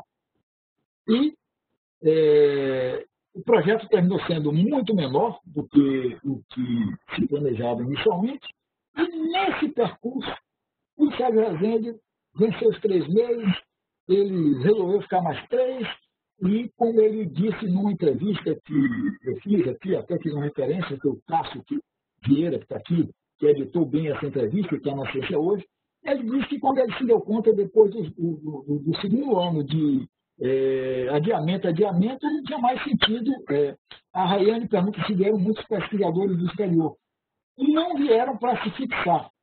É, tiveram muitos visitantes de curta duração. Quando eu digo, Rayane, que o projeto é, foi menor do que o planejado, porque esse planejamento de fixar é, gente do exterior, é, o resultado foi menor do que esperado. O cara vinha, passava um mês, dois meses, três meses, mas ia embora. A única pessoa que foi fixada lá, guardada as devidas proporções, tá certo? É do mesmo jeito que o Porto, que é carioca, foi fixado é, em Campinas, tá certo? O Porto é de Niterói. É, o Sérgio Rezende, carioca, da Zona Sul, foi fixado em Pernambuco. É como ele disse que de uma hora para outra ele parou e pensou, disse, olha, não faz mais sentido eu voltar. Tem dois anos que eu estou aqui e se estabeleceu em definitivo é, em Pernambuco. Não? E aqui no meio, esse baixinho que está aqui é um grande amigo meu, cidadão eu conheço, Anderson, desde o tempo lá do curso de Física da UFBA, né? Carlos Alberto Dias, o primeiro geofísico brasileiro formado no exterior e por que eu estou trazendo a história do, do Carlos Alberto Dias? Ele, quando volta, ele tem o mesmo tipo de conversa com o pessoal do CNPq e a, a importância das geociências na Bahia já era é, bem estabelecida antes dele. A Escola de Geociências foi criada em 1960. É, um dos primeiros diretores foi o Ramiro Porto Alegre Muniz, que é um físico do, do, do, é, do CBPF. É, e aí, quando chega 69, 70, já havia um núcleo é, trabalhando é, com geoquímica é, na Bahia, outro núcleo trabalhando com geofísica, mas era um pessoal ainda em formação, é, o Jean-Marie Flexor, é, o Tenuri, Humberto Tenuri, o, o, Expedito, Antônio Expedito, foram de São Paulo para é, a Bahia, né? É, e o Dias, então, é, passa pela Bahia, e aí, no outro capítulo, é, que eu vou aqui me meter, é, o Dias ele é atraído pela ideia é, de organizar, de dinamizar o núcleo de geofísica que tinha na Bahia, criando um programa de pós-graduação em geofísica. Tá? É, todo, tudo, toda essa história está bem documentada nesse livrozinho aqui, que é, de, é uma espécie de um livro de memória, né? É, do caso Alberto Dias. Né? E, bom, a geofísica na Bahia foi criada em 1970 e se transformou num programa de excelência. Todo o financiamento inicial veio FINEP e Petrobras, foram as duas fontes de financiamento. A Federal da Bahia não teve um reitor como o Linaldo, não teve um reitor como o Zeferino Vaz, está certo? O reitor que teve, talvez o Anderson lembre o nome dele, é o Augusto Mascarenhas. Eu não lembro se quando o Anderson entrou com cientista ele ainda era o, o reitor. E esse Augusto Mascarenhas, entre outras proezas dele, ele não engolia essa ideia de que o dinheiro da FINEP chegava na conta do coordenador do projeto. E essa era uma, é era uma característica institucional dos programas da FINEP. A FINEPAM, caía na conta do coordenador. E ele não engolia aquilo, né? O resultado do desfecho é que, quando chegou na altura de 75 ou 76, o Augusto Mascarenhas denunciou o convênio com a FINEP. Vocês podem imaginar isso, um reitor denunciar um convênio e não, não quero esse dinheiro. Né? É, e, bom, o programa de geofísica sofreu esse, esse baque, mas continuou. Hoje, ainda hoje, o Instituto de Geociências, não só na área de geofísica, mas na área de geoquímica também, é, é uma das melhores instituições do, do, do, é, da Universidade Federal da Bahia. A área de geoquímica, por exemplo, é a área no Brasil que, é, imediatamente depois daquela aquele derrame de petróleo em alto mar, ele identificou o chamado DNA do petróleo, que era extraído de campos é, venezuelanos. E o caso Alberto Dias, no final, ele vai embora da Bahia. O caso Alberto Dias não era baiano, era paraense. Ele se orgulha de ter raízes indígenas, de ser descendente de índio. É, ele volta para a Federal do Pará e depois ele vai para a universidade, eu acho que é onde ele se aposentou e ainda tem ligação que é a Universidade, a Universidade do Darcy Ribeiro, que é a Universidade, Universidade Estadual do Norte Fluminense, é o campo de Macaé. Essa foto, inclusive, é lá, não é uma foto na Bahia. É... Então, é, é, é, isso que é a tal da expansão, portanto, dos anos 70, 80. Agora eu vou voltar um slide para fazer uma transição muito rápida do período do Geisel para o período o período do Figueiredo. Qual é o grande problema aí na transição do Geisel para o Figueiredo? É, bom, vocês estão vendo aí pelos valores de transferências. Já comentei isso na conferência entre o BCP, que desse ponto de vista não tem dúvida que o governo Geisel pode ser considerado a época do ouro na comparação desses cinco governos também na comparação com governos anteriores. Eu não tenho números atuais é, para fazer essa comparação. É, mas na transição do gás para o Figueiredo, a grande mudança é que o modelo econômico brasileiro era fortemente dependente dos empréstimos do exterior e nós tivemos o segundo choque do petróleo é, na transição é, já no governo Figueiredo. E a expansão econômica que viagem econômico que veio do governo Médici, que foi mantido a duras custas ao longo do governo Geisel por uma política do governo Geisel de apostar no desenvolvimento, né? mas apostar no desenvolvimento dependendo é, dessas inversões estrangeiras, essa política foi é, truncada na, no início do governo Figueiredo. E, num certo sentido, eu diria que é, esse quadro de truncamento da economia, ele é comum ao último governo da ditadura militar e ao primeiro governo da, nova república, que é o governo Sarney. É, em verdade, os economistas vão dizer que a década de 80 e a década de 90 é considerada, são consideradas, é, os economistas vão dizer isso, as décadas perdidas é, para a economia não só brasileira, mas para as economias latino-americanas. É, então, portanto, nessa transição, é, a gente não terá uma, uma essa transição, portanto, do gás para o Figueiredo, e volta a dizer do Figueiredo que chamei, não, não temos uma mudança é, tão dramática. Né? É, você tem aqui essa redução econômica, tá certo? essa redução do investimento, tá certo? Mas olha que em termos de investimento não tem diferença essencial entre o governo federal e o governo estadual. Então, o que, que muda aí nessa década de 80? Eu diria assim duas coisas. A primeira, é, a época da expansão acelerada do Parque de Ciência e Tecnologia é, sofre um truncamento grande. Né? É, mas é um truncamento que vai levar uma parte da comunidade científica brasileira a buscar, é, a, a, pensar sobre é, é o problema de como é, sobreviver nessa nova conjuntura. E é exatamente nessa conjuntura inicial do governo Figueiredo que começa a ser gestado um projeto o Alci chamou minha atenção, porque ontem o presidente Bolsonaro visitou, é, inaugurou a primeira etapa do Sirius, esse acelerador é, de luz símbolo, né? Esse é um projeto de longa duração, nós estamos em 2020, um projeto é, ali do início dos anos 80. Né? É, a época, é, o nome era o projeto do acelerador. É um grande acelerador para fazer elétrons acelerar e esses elétrons vão ser acelerados eles permitem é, a emissão de radiação, uma fonte de luz com é, por isso que o nome inicial, inclusive, inicialmente era Laboratório Nacional de Radiação Cíclica, é, e em algum momento, eu acho que pelo Silon, é, é, ele foi transformado para Laboratório Nacional de Luz Síncrona, síncrona para tirar a palavra radiação, que tem impacto é, negativo no público. Né? Então, esse foi o grande projeto, ele foi concebido inicialmente dentro do Centro Brasileiro de Pesquisas Físicas sob a liderança é, do Lobo, que era o diretor é, do CBPF nessa altura. É, o Lobo, no CBPF, ele foi muito assessorado pelo, pelo Jacques Danon,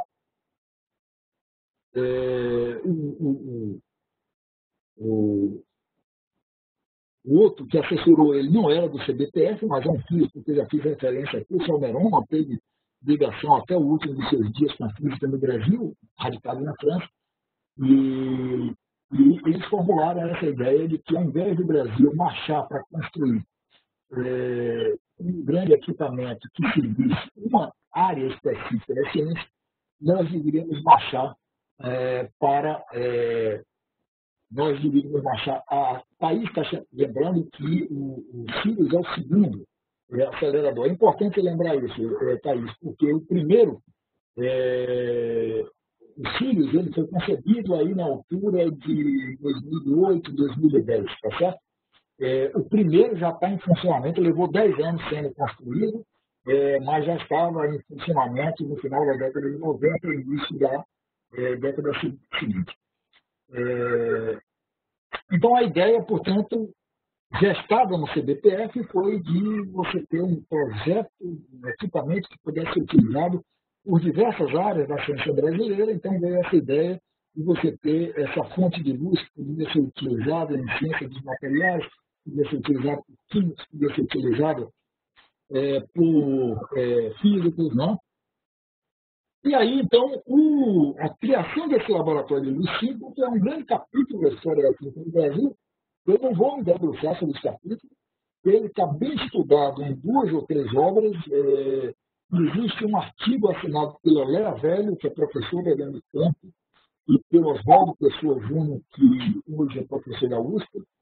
É, é um artigo no, no, no Social Study of Science, um bom artigo sobre a criação do, do laboratório. E nós temos um livro, que é o livro do Marcelo Burgos, É curioso que depois o Marcelo Burgos largou esse negócio de sociologia da ciência, né? mas ele deixou uma obra importantíssima, que é uma obra é, mostrando os bastidores da negociação é, do, do, do, do, laboratório de Lucinho.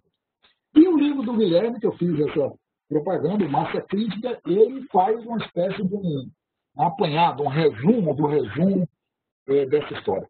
O desfecho da história é que o projeto foi concebido inicialmente no CBPF, é, ele enfrentou resistência na comunidade científica brasileira, porque, veja, é um momento em que você tem um decréscimo no financiamento. Aí você vem com a ideia de um grande equipamento, isso gera o debate seguinte, não, vamos dividir o dinheiro, ao invés de concentrar em alguma coisa. Não? Então, o CBPF, de certa maneira, o preço para implementar o projeto foi o CBPF nascer o único dono do projeto. E aí, nessa história toda, é, o desfecho é que o projeto foi parar onde? Em Campinas. Quem é a pessoa-chave em trazer o laboratório de luz sempre para Campinas? O projeto Cecília Leite. Tá certo? É... Bom, mas como eu disse, eu não vou falar da história, não. Só quero dizer assim, é dos grandes projetos é, da ciência brasileira desse período. E a segunda, então, a primeira característica, portanto, nessa transição é, dos anos 80, né, é, foi um período de escassez de recursos quando comparados com os recursos do governo Lula, tá certo?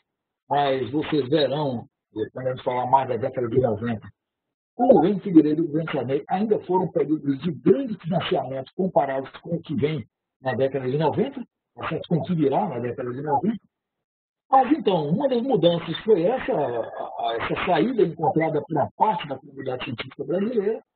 É, é, não foi a única saída, toda uma área envolvida, envolvendo a área de telecomunicações, por exemplo, a área de informática, a lei de reserva de mercado de informática, tudo isso é tradição que vai do governo Figueiredo para o governo Charney. Eu não vou me estender desse aqui, tá certo? É, mas a outra mudança que eu diria assim, é, na mudança do governo Figueiredo para o governo Sarney e novo governo, é, então nós temos novos personagens e talvez assim um novo, novo governo precisava de um novo simbolismo. E o governo Sarney, então, herdou, vocês lembram do episódio, o presidente seguia o Tancredo Neves, o Tancredo Neves morre antes de é, assumir, e o Sarney, que era de um outro partido que não. É, o Tancredo, ele vira presidente, mas ele busca, na medida do possível, fazer essa, essa continuidade do que é, seria o governo Tancredo. Neves, e um dos elementos de continuidade é a indicação para um novo ministério, Ministério da Ciência e Tecnologia, é, de um líder é, histórico do PMDB, que era o partido do Tancredo, que foi o Renato Arca. É, então, aqui você tem, portanto, um, primeiro um efeito de simbolismo. Essa ideia de um Ministério da Ciência e Tecnologia era uma ideia lá do governo João Goulart, e que no governo Castelo Branco, por circunstâncias, terminou sendo abastado. E é, essa ideia retoma, uma ideia que se transformou é, uma ideia importante. E no governo Sarney teve um ministro forte.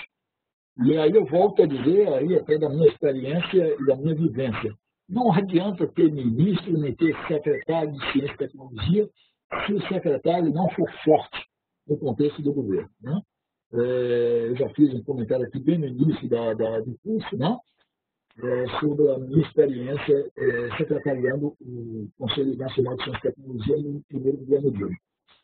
O fato é que o ministro de Sarney era um ministro forte porque representava essa ala. Aliás, eu disse que era representava o PMDB do Tancredo.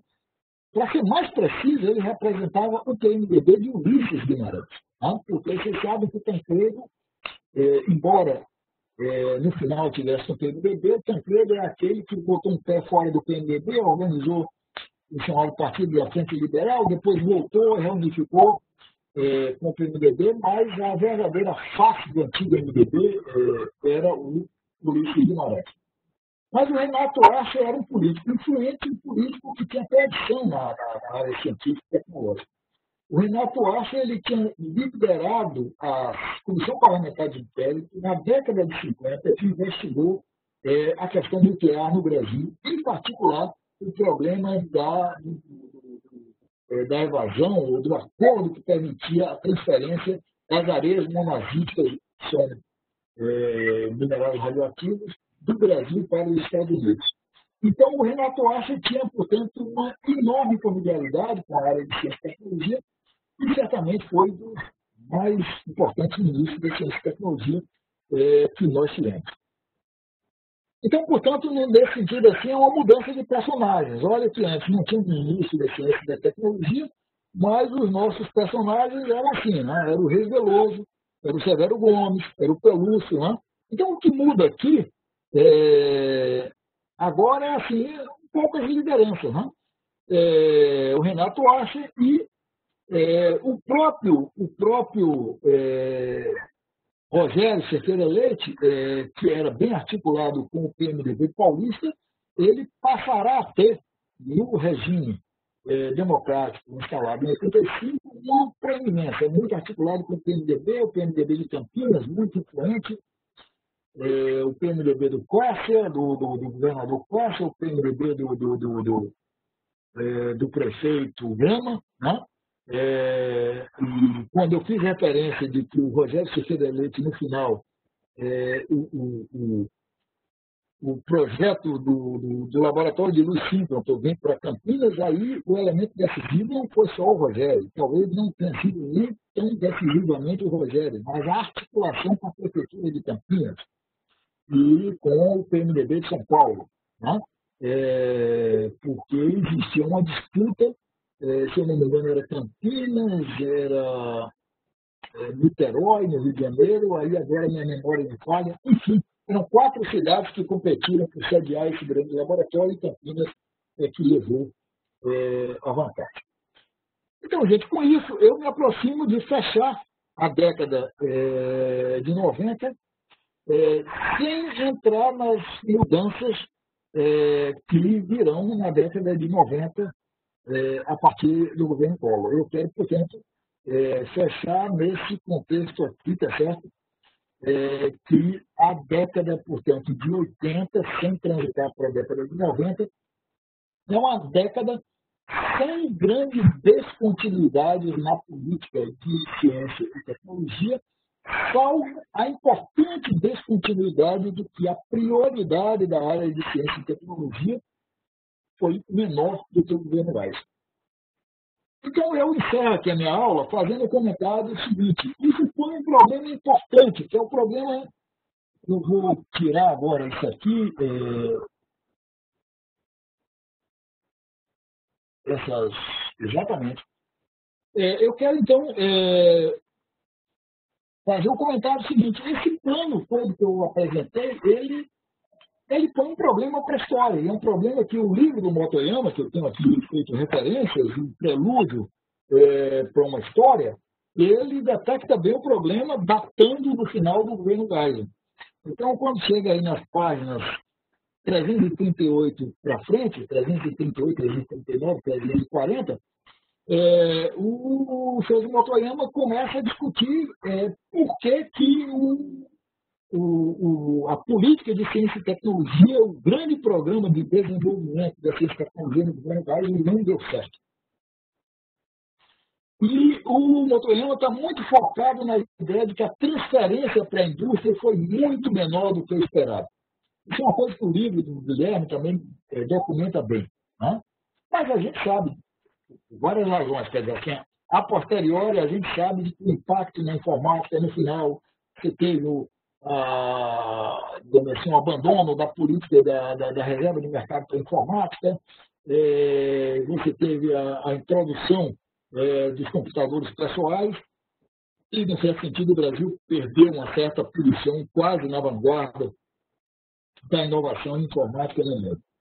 Então, o, o está com esse problema na, na, cabeça. Eu aqui não quero propriamente endossar a resposta do Choso, eu quero dizer que ele está identificando um problema que, para o nosso curso, aqui, é um problema central. eu quero refletir por que, que os governos apoiam, apoiaram ou deixaram de apoiar a ciência e tecnologia. E ele diz assim, umas coisas assim. Então, por que todo. Eu estou lendo, né? Então, por que todo esse programa, esse imenso programa não deu certo? O de Energia Nuclear, em parceria com a Alemanha, transformou-se em pesadelo, monstro, verdadeiro ou fictício, alvo de críticas da comunidade científica. Né? É, apesar de todo o empenho, a dependência no setor de tecnologia industrial, ao invés de diminuir, parece ter aumentado. E ele segue, né? É, aí ele faz uma afirmativa, que eu acho que está correta, ele diz assim, o calcanhar de Aquiles do governo Gás situava-se no mesmo ponto daquele do seu antecessor, economia baseada no endividamento externo. Ele ficava extremamente vulnerável aos rumores do sistema financeiro internacional. No mundo de hoje, eu diria que não só o sistema financeiro internacional, nós estamos vivendo hoje é, esse ponto absolutamente crucial. Quer dizer, é, um espirro que a economia chinesa dá é, impacta fortemente a economia brasileira, porque aumenta ou baixa o preço de commodity e isso tem um enorme impacto. Né? É, e, então ele segue e aí é, o Choso ensaia umas duas respostas, eu vou aqui anunciar e vou dizer que tem parte da resposta que eu, eu não fico satisfeito e tem uma parte que eu gosto e que eu quero valorizar. Ele diz assim, todavia, o ponto nevrálgico do relativo fracasso da política de ciência e tecnologia, olha que ele passa a utilizar o conceito não de fracasso, mas de relativo fracasso. Eu acho que melhorou. Ele diz assim, apesar de sua sintonia com a política industrial, ficou por conta do seu descolamento em relação à política econômica, isto é, da pouca importância que essa deu àquela. Eu acho que é uma boa resposta, embora o meu argumento aqui é exatamente isso. Nós não vivemos, nem país vive sobre a ditadura dos economistas. Então, não vamos é, atribuir aos economistas mais responsabilidade do que eles podem ter. As decisões de política, nós estamos vivendo, é o exemplo que eu gosto de brincar, a política econômica que o governo Bolsonaro está implementando depois do auxílio emergencial não é a política econômica do Guedes. Todo mundo sabe que o Guedes está enxugando gelo em Brasília porque ele sabe o que fazer. Agora, é, aconteceu um terremoto, a pandemia, é, os economistas liberais radicais brasileiros passaram a dizer tem que distribuir dinheiro, como eu disse aqui no começo, tem que jogar dinheiro de helicóptero, não jogou dinheiro de helicóptero, deu o auxílio emergencial. O auxílio emergencial evitou uma convulsão social e trouxe uma camada de prestígio ao governo Bolsonaro e o governo Bolsonaro quer se segurar dessa camada de prestígio, mesmo que às custas da política econômica do Guedes. Esse exemplo, para mim, é muito ilustrativo para a ideia que eu acho simplismo, um certo senso comum, a gente colocar a responsabilidade na política econômica. Não é o economista que é eleito.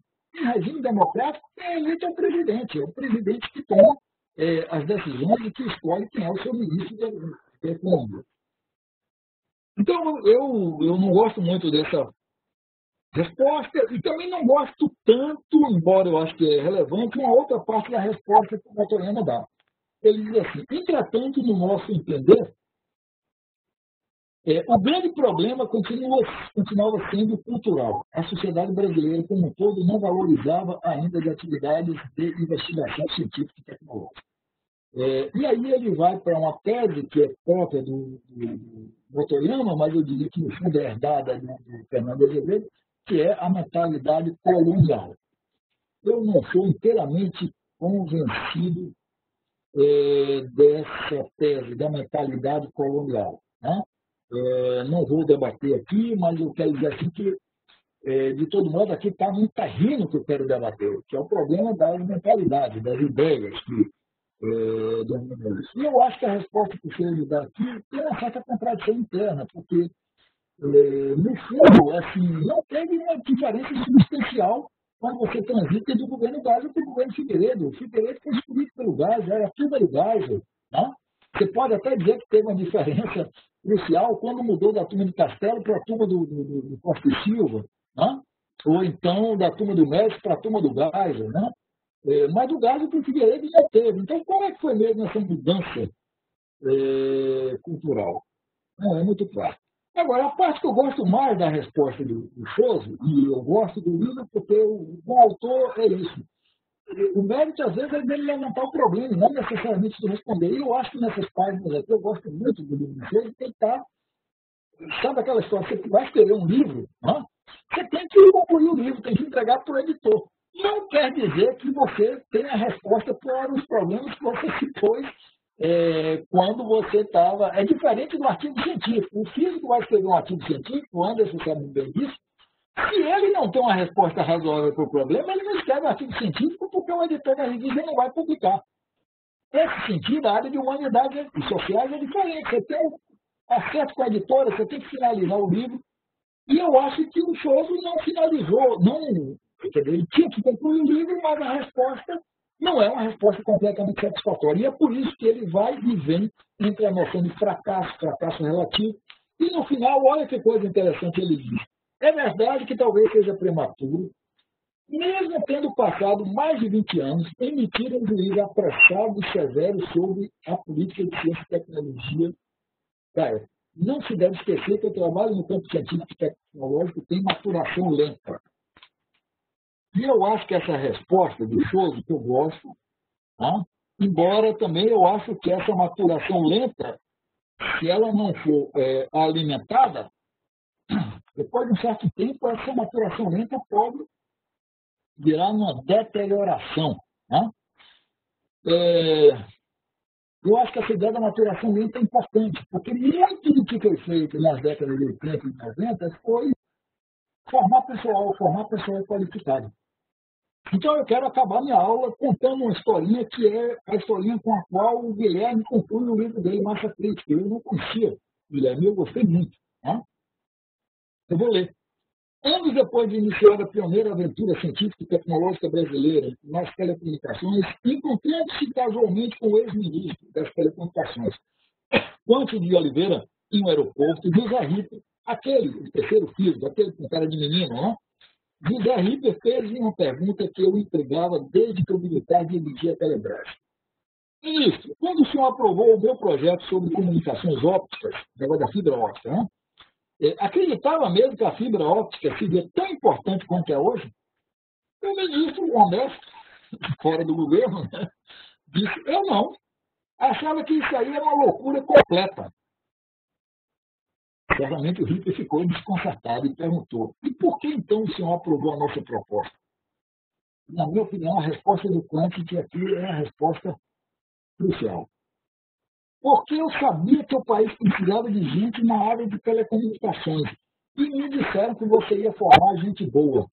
Então, o êxito dessa política científica do período do regime militar não pode ser medido só se a gente esteve na linha de frente da informática, se perdeu, se o tempo que levou para construir o ciclo, é, é, ou então o, o, lado positivo, produziu na agronomia, digamos assim, as, a, as bactérias é, da, da, da, da, da Johanna Doberheim, que dispensam é, o uso de fertilizantes no, no cerrado, é, ou, ou, também não, não, pode ser medida. Eu sei que essas medidas do, do, dos casos positivos é muito importante para convencer a opinião pública, não? É, a agronomia é muito importante mostrar que foi com o ITA que a gente construiu a Embrapel, que foi com a formação de geofísicos, de geólogos, de geoquímicos e com o centro da Petrobras, que a gente pôde explorar petróleo em alto mar e, e na camada do pré-sal. Esses são os casos positivos. Mas eu acho que a resposta mais importante é essa. Seja qual for futuro que nós temos adiante, formar pessoal qualificado é o grande desafio. E o que o Quantity não diz, e aí eu acho que é um problema que nós herdamos do regime militar e nós, nosso avanço ainda é mínimo, é que para formar uma boa seleção de gente qualificada no campo técnico, você precisa ter a escolinha de base. E a escolinha de base é a escola pública, a escola básica pública.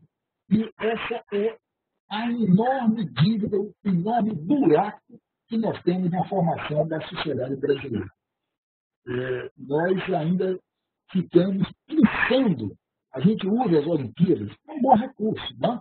mas usa as Olimpíadas para pensar em outro valor, tá certo? Mas a solução para você ter essa formação de pessoal científico é, em larga escala é você ter mais gente é, se familiarizando com a ciência desde o beabá, desde a escola básica.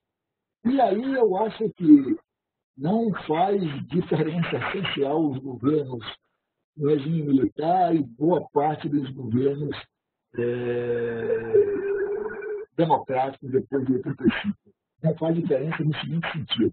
É claro que nos governos democráticos nós reformamos a, a lei de, de, de antiga lei de, diretrizes de base. É claro que no governo democrático a gente aprovou o Plano Nacional de Educação, que é um elemento importante, a gente consolidou a estrutura do Fundo Nacional de Educação. Então, veja, eu não quero botar um, pé, um sinal de igualdade entre o período ditatorial e o, regime democrático. Mas o legado, você põe 88, 2018, o legado aí dos 30 anos do regime da Constituição de 88 na valorização da nossa educação básica é um legado muito difícil. E eu acho que esse é um problema, dos maiores, maiores problemas é, que nós temos na sociedade brasileira. Gente, fico por aqui, temos um tempinho para um ou para outro comentário. E aí, de novo, eu peço a ajuda de Thaís para a gente ver quem é. Ah, Thaís, eu já aprendi aqui. Tá, o Cássio é o número dois. Isso aqui é legal, viu? Porque eu não posso enganar vocês. Primeiro aqui é o Marcelo Barge. Vamos abrir o som aí para o Marcelo. Será que eu mesmo consigo abrir? Não consegue, Olival, sou só eu. Tá bom. Consegui? Peraí. Sim, vamos testar. Vamos lá. Não, peraí que eu abri. Isso, abriu. abriu. Peraí, peraí, peraí. Marcelo, você consegue falar? Estou ouvindo. Me escuta? Sim, estamos escutando. Olha aí, ó, Thaís, eu elogio tanto, eu vou ficar independente no final desse curso, tá certo? Na última aula nem estaremos mais aqui. Não, por favor. Marcelo, muito bravo. Boa tarde, professor. Boa tarde a todos. Reforçar o agradecimento. Tem sido muito bom esse, muito bom esse curso. É, uma coisa, né? O senhor começou comentando sobre a perseguição as humanidades, as ciências sociais, na, no período ditatorial, né? Para nós que somos historiadores, não sei se a maioria aqui é, é bem, é bem comum a ideia de que regimes autoritários buscam ter o controle da narrativa histórica, né? Para assim é, passar o rodo, vamos dizer, é, em linhas gerais, sobre a narrativa que quer construir, né? A famosa guerra de narrativas na história. É, nesse sentido, é, não me parece tão estranho que os cursos tenham sido perseguidos, mas mesmo assim se fixado, porque né, determinados temas eram proibidos de serem pesquisados, enquanto outros eram validados para que a narrativa fosse é, tivesse sua sequência. Nesse sentido, eu não consigo é, é, fazer o curso, aqui, escutar as aulas, sem relacionar com a atualidade.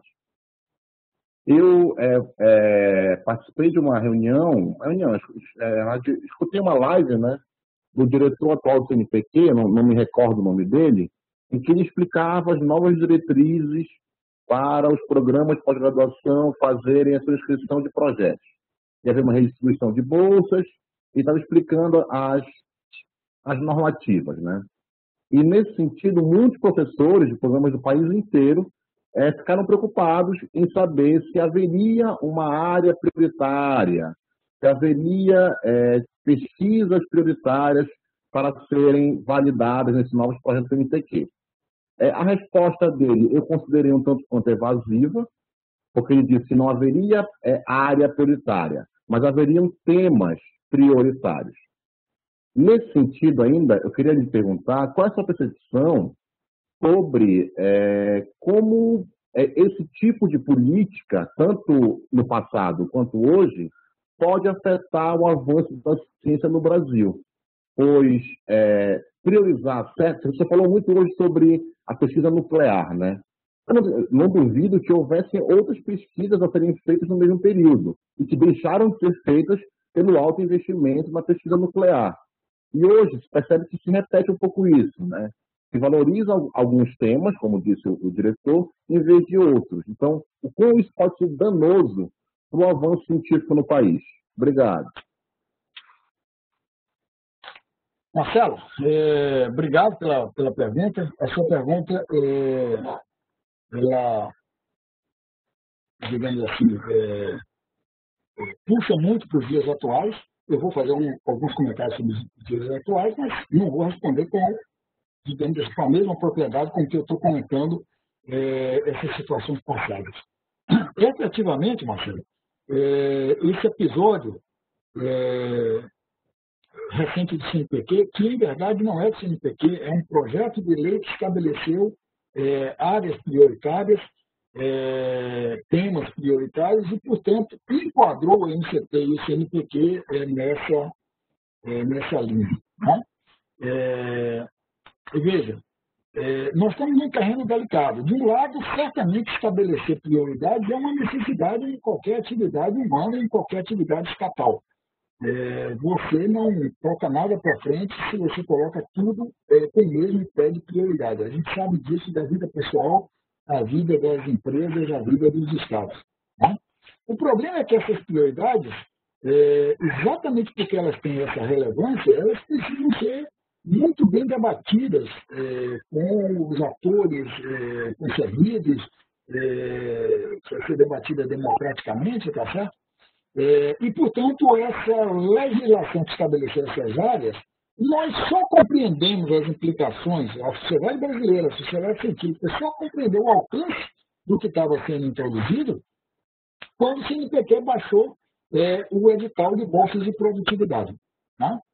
É, e, e, em verdade, é, depois de uma pressão feita pela SBPC, pela Andifes, pela Associação Academia Brasileira de Ciências, é, o CNPq deu um passo atrás.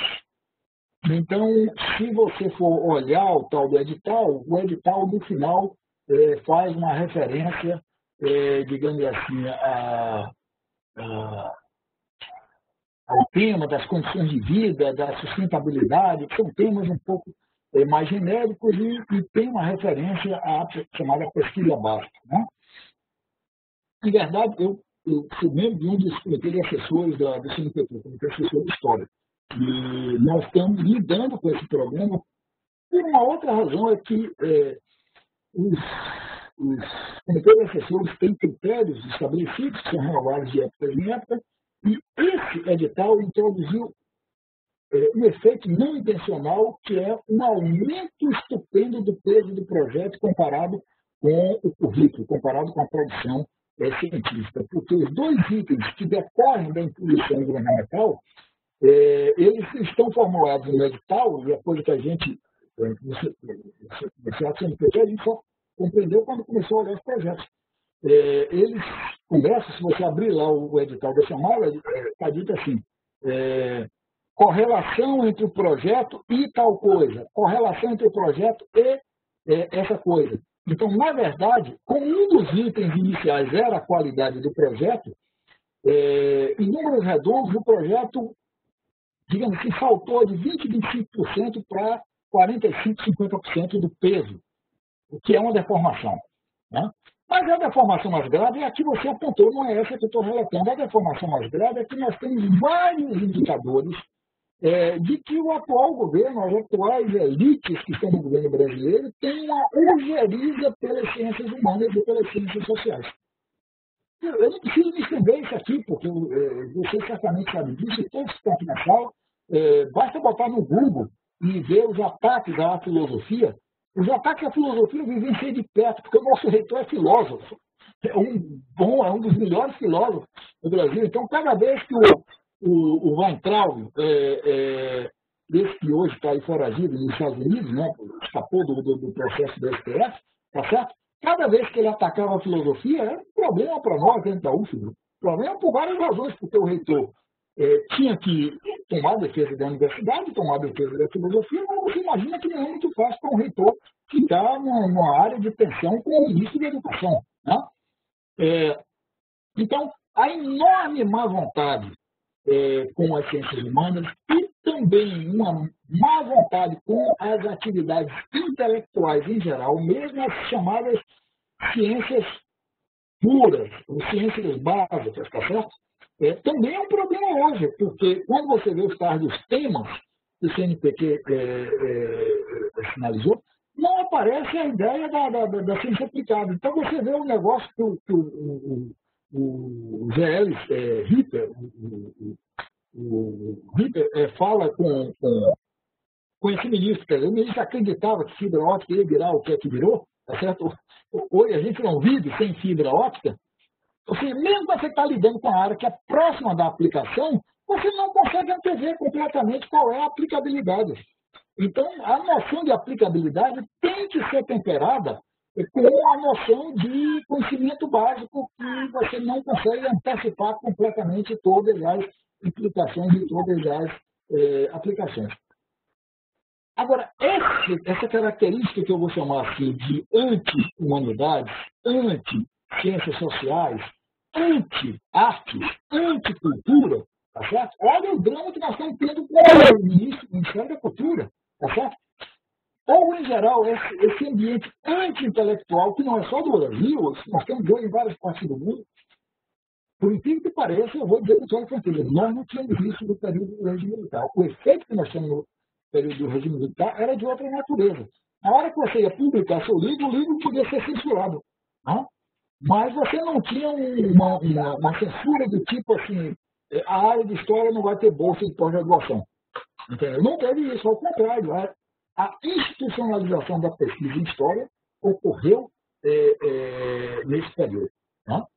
É, então, é, então é isso. Nesse sentido, eu acho que hoje nós estamos vivendo é, problemas, eu não vou dizer que mais graves ou menos graves, mas diferentes problemas que nós não, nós não tínhamos vivenciado anteriormente. Eu desafio, eu sugiro todos que leiam esse artigo do Manuel Domingos, que eu me comprometo que na terça-feira é, eu vou transcrever o texto aqui, que é um artigo curto, e o Manuel Domingos ele bate exatamente nessa tecla, provocando assim, como é que é? Como é que os militares brasileiros podem chancelar essa política contra a ciência básica, contra eh, as humanidades. Né? Eh, antes aqui da nossa aula, eu conversava com o Pécora, o professor Alci, lembrava a visita do presidente e filhos, né? e veja que, que contradição, quer dizer, os filhos é o resultado concentrado desse esforço técnico-científico é, é, desenvolvido é, a partir da comunidade científica brasileira, na Unicamp, no CBPF. Então, é o presidente com o astronauta do lado, o ministro, né, é, é, fazendo pontes, é, fazendo propaganda de que está inaugurando um, um, um, um aparelho científico, uma instalação científica que não está bem sintonizada com a orientação geral do país. E na véspera, eu falei para o Alci, o presidente visitou é, Iperó, é, Aramar, que é a base da Marinha, onde foi desenvolvido e onde, foi, é, onde se desenvolve o projeto do submarino nuclear, mas o que me interessa aqui é onde nós conquistamos a autonomia tecnológica do processo de enriquecimento do urânio. E eu disse assim, eu não consigo entender como é que os altos escalões da Marinha que entenderam a importância de conquistar a autonomia tecnológica nesse terreno, hoje é, se vem com um governo que, no mesmo momento que funciona um presidente, que no mesmo momento que visita é, Aramar, dá essa declaração que vai entrar para a história, que é o seguinte, não será vacina obrigatória, não tem negócio de comprar vacina, é, o vírus é um vírus chinês e coisas desse tipo. Essa é parte da nossa, do nosso drama atualmente. Então, obrigado, Marcelo. O próximo aí é o Cássio. Eu vou agora, pronto. O som liberado para você, Cássio. Então, oi, tudo bem, Olival? Estamos escutando? Muito bem. Ah, então tá ótimo. É, eu, eu, na verdade, eu, eu não queria fazer a pergunta, eu queria fazer duas observações, eu posso? Sim, claro. É, a primeira delas tem a ver com com se ou não a ciência, como você falou, progride numa, digamos, uma sociedade autoritária. E a segunda delas tem a ver com uma contradição muito forte dos militares de hoje com os militares do passado. Posso fazer essas duas observações? Claro, claro. Bom, é, enfim, é, o, o Popper o Karl Popper, quando saiu da Europa e se exilou na Nova Zelândia, ele escreveu um livro chamado Sociedade Aberta e seus Inimigos. A, a, tese central ali era o seguinte, é, ciências só se desenvolvem em democracias. O nosso grande amigo Alexei Koyevnikov, que é de uma universidade canadense, é muito amigo seu, também amigo meu, escreveu um livro que eu considero é, soberbo. Eu já tentei traduzir esse livro em português é, várias vezes, até pela editora por tempo, e esse livro se chama A Grande Ciência de Stalin. Eu acho que você conhece esse livro. Eu fiz uma resenha desse livro. É, esse, esse, livro, assim, na minha opinião, é, eu acho que o Alexei Koyevnikov hoje é o maior historiador da física soviética, de longe. Esse livro, para mim, é uma das melhores coisas que eu vi até hoje. Eu deixo como sugestão. É, em inglês chama Stalin's Great Science, é esse nome da, livro. Mas o, o interessante disso é que é, esse livro do Koyevnikov é justamente uma resposta ao povo. Ele prova ali que mesmo no regime, digamos assim, autoritário do Stalin, né, é, é, possível que a ciência se desenvolva.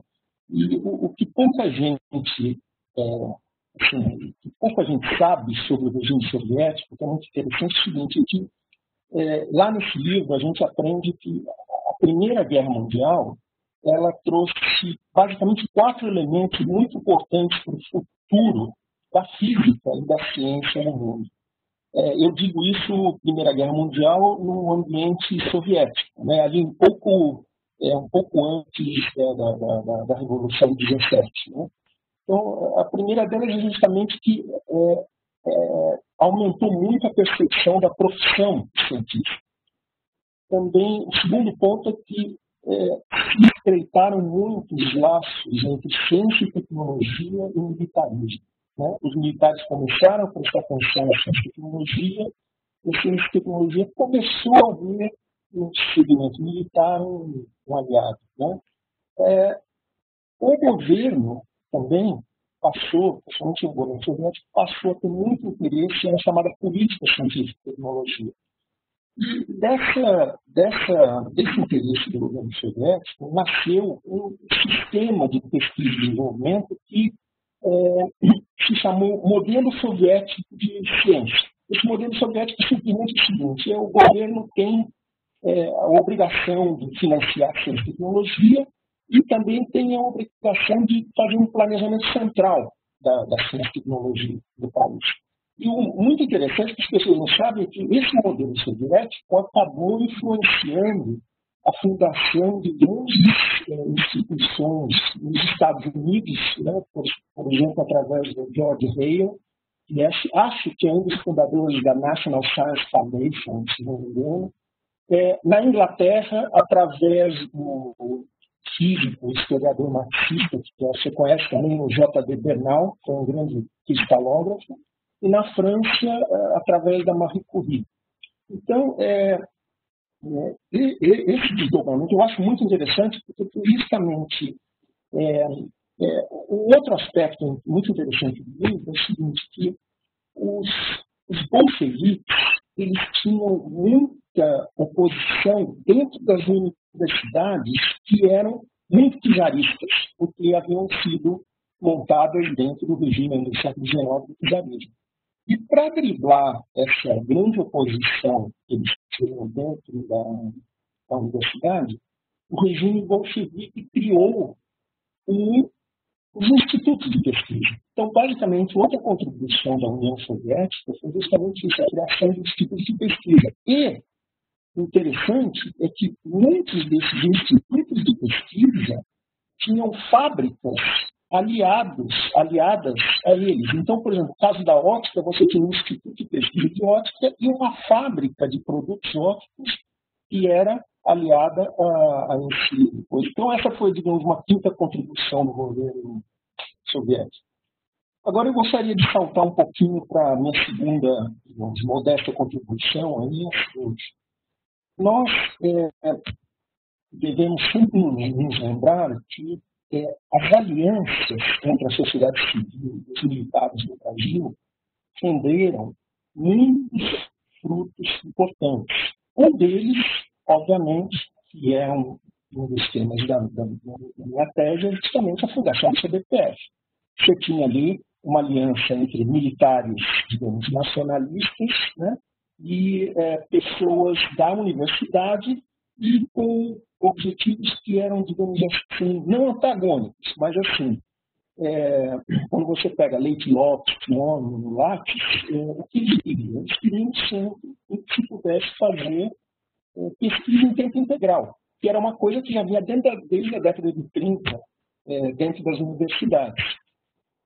E os militares, já desde aquele tempo, Olival, você citou aí que, o, que digamos, ambição pelo ciclo completo da energia nuclear foi a partir da década de 70. Mas se você olha documentos já da Fundação CPF, você já vê que esse sonho da obtenção do ciclo completo da energia nuclear já está presente como uma semente ali na Fundação CDPF, que é janeiro de 49.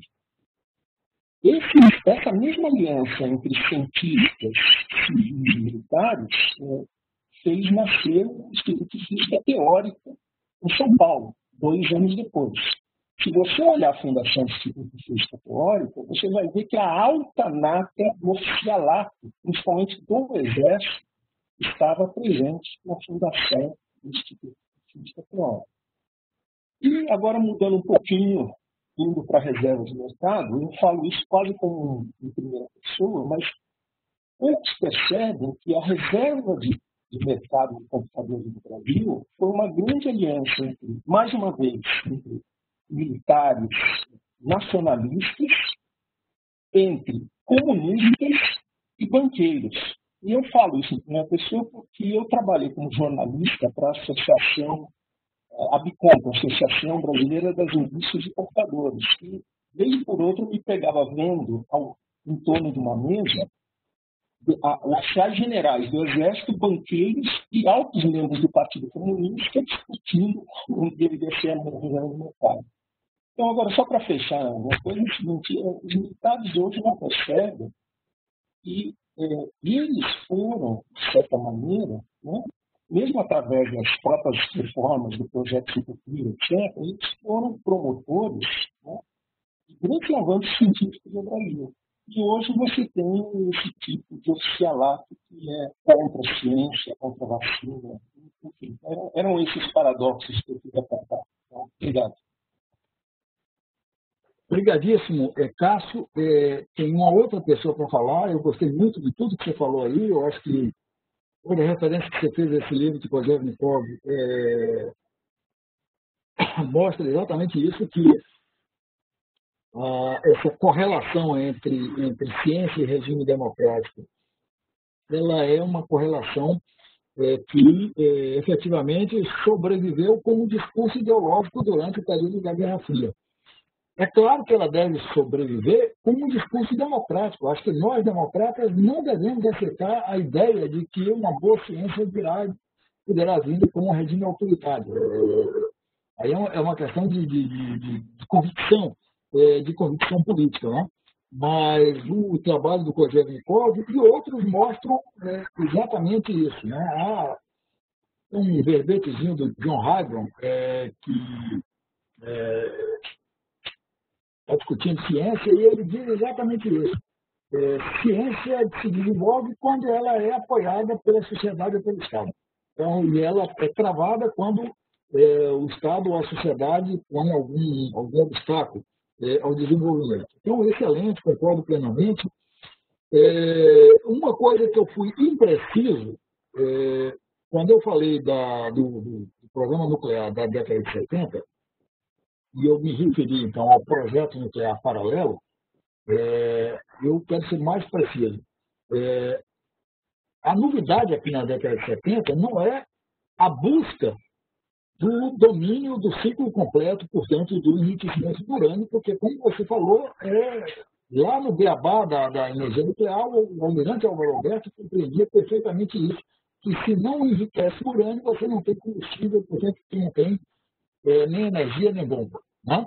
O que, a novidade na década de 70 é que os militares, ainda que com a colaboração de cientistas, a exemplo do Sérgio Porto e outros, tá certo?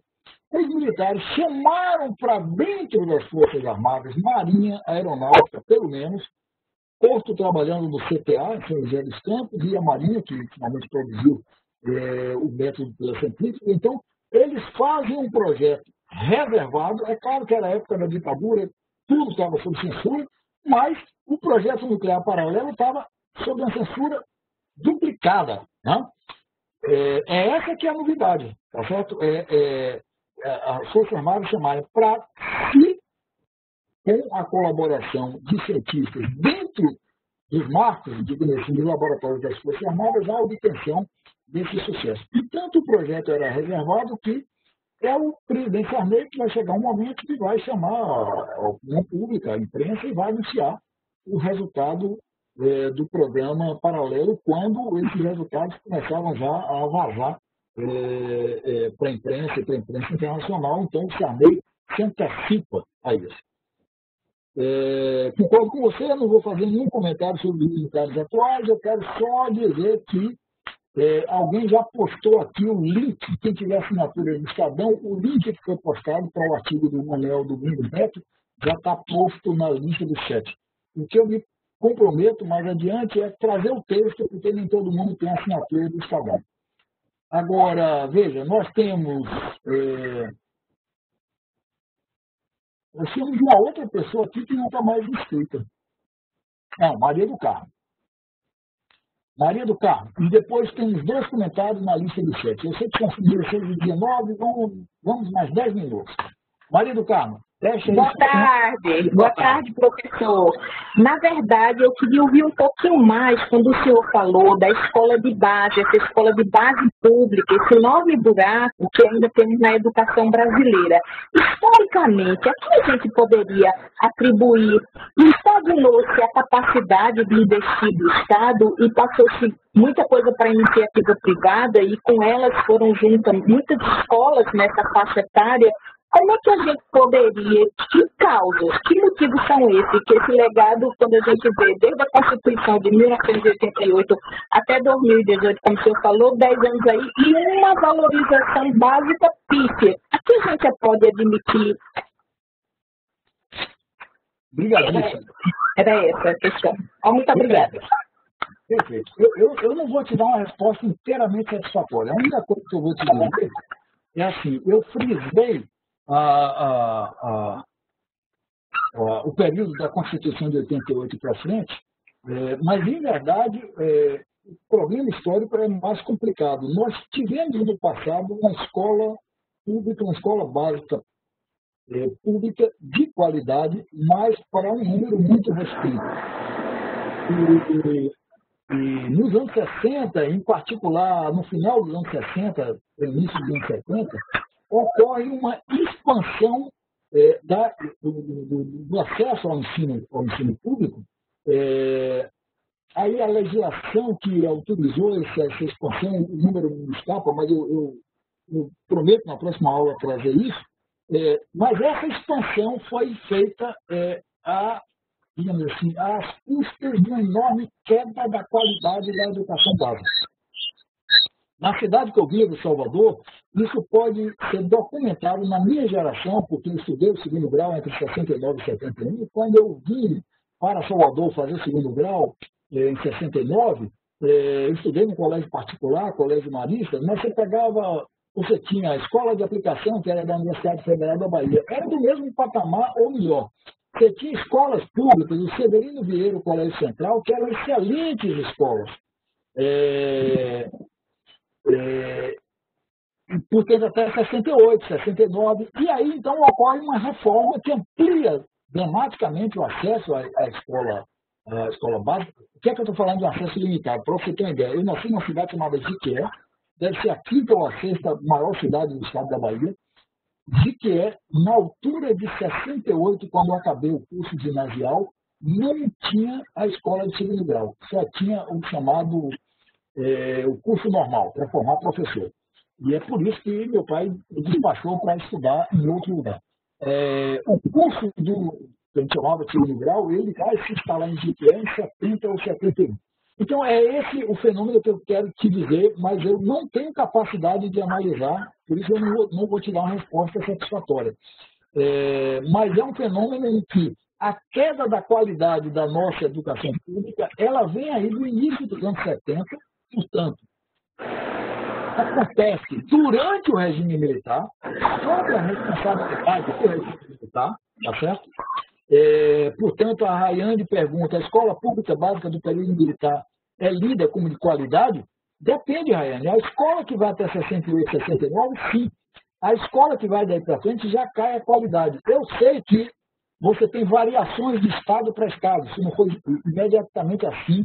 É, por isso que eu disse, na minha cidade, Salvador, é dramático. 69, 70, 71, há uma queda dramática na qualidade. Agora, o enfrentamento desse problema pelo regime democrático não foi até agora um enfrentamento à altura do problema. Essa é a minha, a minha tese. Eu diria que aí é a minha afirmação política como cidadão. Não é uma análise, eu não tenho uma, uma resposta é, satisfatória para a sua pergunta. Aliás, as razões por que nós temos, brincando, brincando, seguiam aí, é, digamos, 15, 35, é, quase 50 anos de queda dramática na qualidade da escola pública quando ela se expande, sem uma recuperação. Agora, eu tenho duas ou três perguntas aqui, gente, que eu vou passar, então, é, rápido aqui, tá certo? É... A Maria Inês Zambuja fez uma pergunta que é bastante provocadora. É... É... E é tão provocadora que depois ela diz assim, nem precisa responder, mas pense se não se encaixaria na sua narrativa. Ela diz assim, Brizola sempre disse que quando a Globo era a favor, deveríamos posicionar contra, pois seria contra os interesses nacionais. Na redemocratização, a Globo passou rapidamente de contra a favor das diretas. Já. O que sempre fez eu me perguntar, foi a redemocratização um golpe contra o desenvolvimentismo dos militares? A pergunta é provocativa, mas eu diria, Inês, que a, o argumento que eu apresentei aqui não, não vai nessa linha. Por quê? Porque esse esforço desenvolvimentista dos militares, de certa maneira, ele ainda continuou no primeiro regime civil. É, não só pelos números que eu apresentei aqui, do investimento em ciência e tecnologia no governo Figueiredo e no governo Sarney foi basicamente o mesmo, né? É, alguns dos elementos que foram trazidos aqui à discussão, por exemplo, a, a lei da reserva de informática, que o, o, o Cássio ilustrou aqui com esses é, encontros entre banqueiros militares e comunistas que ele testemunhava, é, essa lei da reserva de mercado ela é aprovada, eu não me lembro exatamente o ano, mas ela transita o governo, o governo Figueiredo, o governo Sarney. Portanto, eu diria que, respondendo de maneira muito precisa, eu prometo retomar na próxima aula. O ponto de corte mais acentuado vai vir adiante, governo Collor para frente. E não é o Collor só individualmente. Eu vou mostrar que é uma mudança no mundo, globalização de um lado e neoliberalismo é, prevalecendo de A a Z. É, eu, deixa eu ver se tem alguma coisa. É, alguém perguntou para o autor que fala da. Eu já botei o nome, John Hyder. É, Deixa eu ver se tem uma pergunta aqui anterior. Para, para, para, para, é, a Rayane perguntou como ficaram as pesquisas de física nuclear daqueles pesquisadores que não se aliaram com as intenções do regime militar. Eu não tenho uma resposta muito substancial para te dar, Rayane. É, assim, eu não estudei isso sistematicamente, precisaria esse estudo. Não é uma, e também não é uma resposta fácil. Vou te dar um exemplo. O IPEM, Instituto de Pesquisa de Energia Nuclear. É, eu posso lhe dizer que parte do programa nuclear paralelo, uma parte, sei qual, foi feita dentro do IPEM. Mas o IPEM é que cuida da produção de radiofármacos. Sempre cuidou da produção de radiofármacos. É, então, nesse sentido, a, é, a, o IPEM, depois você tem o Instituto da, da, da a Quimé, tá certo? É, no Rio de Janeiro, é, nome, é o que lida com o problema de dosimetria. Dosimetria é absolutamente essencial na sociedade contemporânea, porque você tem fontes radioativas em todo lugar. Você precisa, por exemplo, formar gente que saiba é, dizer qual é a, a, a, dose de radiação que é compatível ou não é compatível no tratamento médico ou no ambiente de trabalho. Né? É, e toda a área ligada ao esforço da energia nuclear para fins pacíficos, essa área da engenharia nuclear, é, certamente ela continuou a se desenvolver, muitas vezes em instituições militares, eu digo isso porque eu acho que é o Instituto Militar de Engenharia que tem um curso de engenharia nuclear, mas tem outros cursos de engenharia nuclear em, outros, em outras instituições. Então, enfim, você tem toda uma geração que foi formada para operar a usina de Angra 1, a usina de Angra 2, entendeu? É, então, certamente teve continuidade. O que eu disse aqui é que um certo elan que cercava a energia nuclear nos anos 50, esse elan que levou à criação do CBPF, que levou à criação do Instituto de Física Teórica, que o Caixa Teus falou, esse elan, esse espírito de comunhão, é, de sentar o almirante Álvaro Roberto, militar, é, o Látias e o, e o Ervásio é, para discutir é, o desenvolvimento da área nuclear, esse elan ficou abalado a partir do golpe de 64. É, o quão funda foi essa fratura é, é difícil, é, é, difícil quantificar, mas essa fratura ocorreu.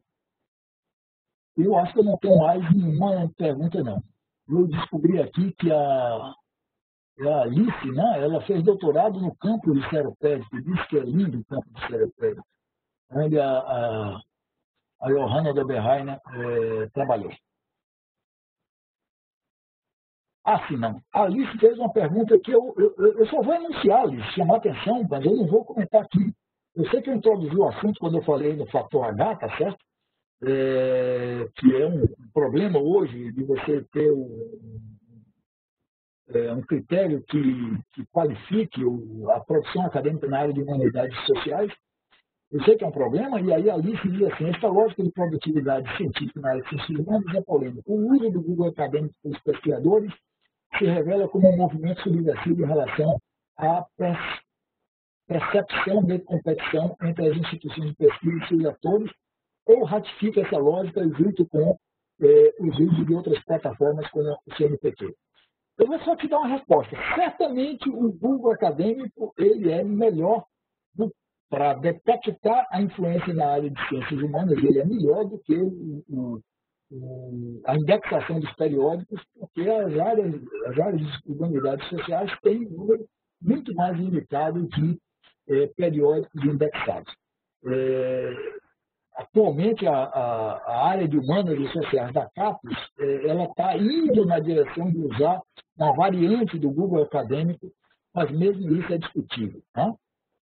É, e aí você me pede para trazer os enlaces históricos em torno das políticas de incentivo à, comunidade, à comunicação científica, tanto dos eventos científicos como das publicações em multiplataforma. E eu vou ficar te devendo é, isso aqui, tá certo? Porque aí já são 16 e 30 eu teria que é, me estender nessa direção. É um tema absolutamente central que você está tocando. Tem toda a correlação com essa, esse debate que nós temos hoje sobre ciência aberta mas é, vamos ver se eu consigo abordar isso ainda nas duas últimas horas. É, eu acho que a gente pode encerrar. Eu pergunto se Anderson quer fazer algum comunicado. É, não, ótimo. Muito bom, Polival. Bom, gente, é, nós temos esse debate sobre mecânica quântica, esse debate abstrato, amanhã às quatro da tarde. É, vocês estão todos convidados. E terça-feira a gente retoma é, o curso para a nossa última semana. Até mais. Um abraço. Até mais. Um abraço. Valeu.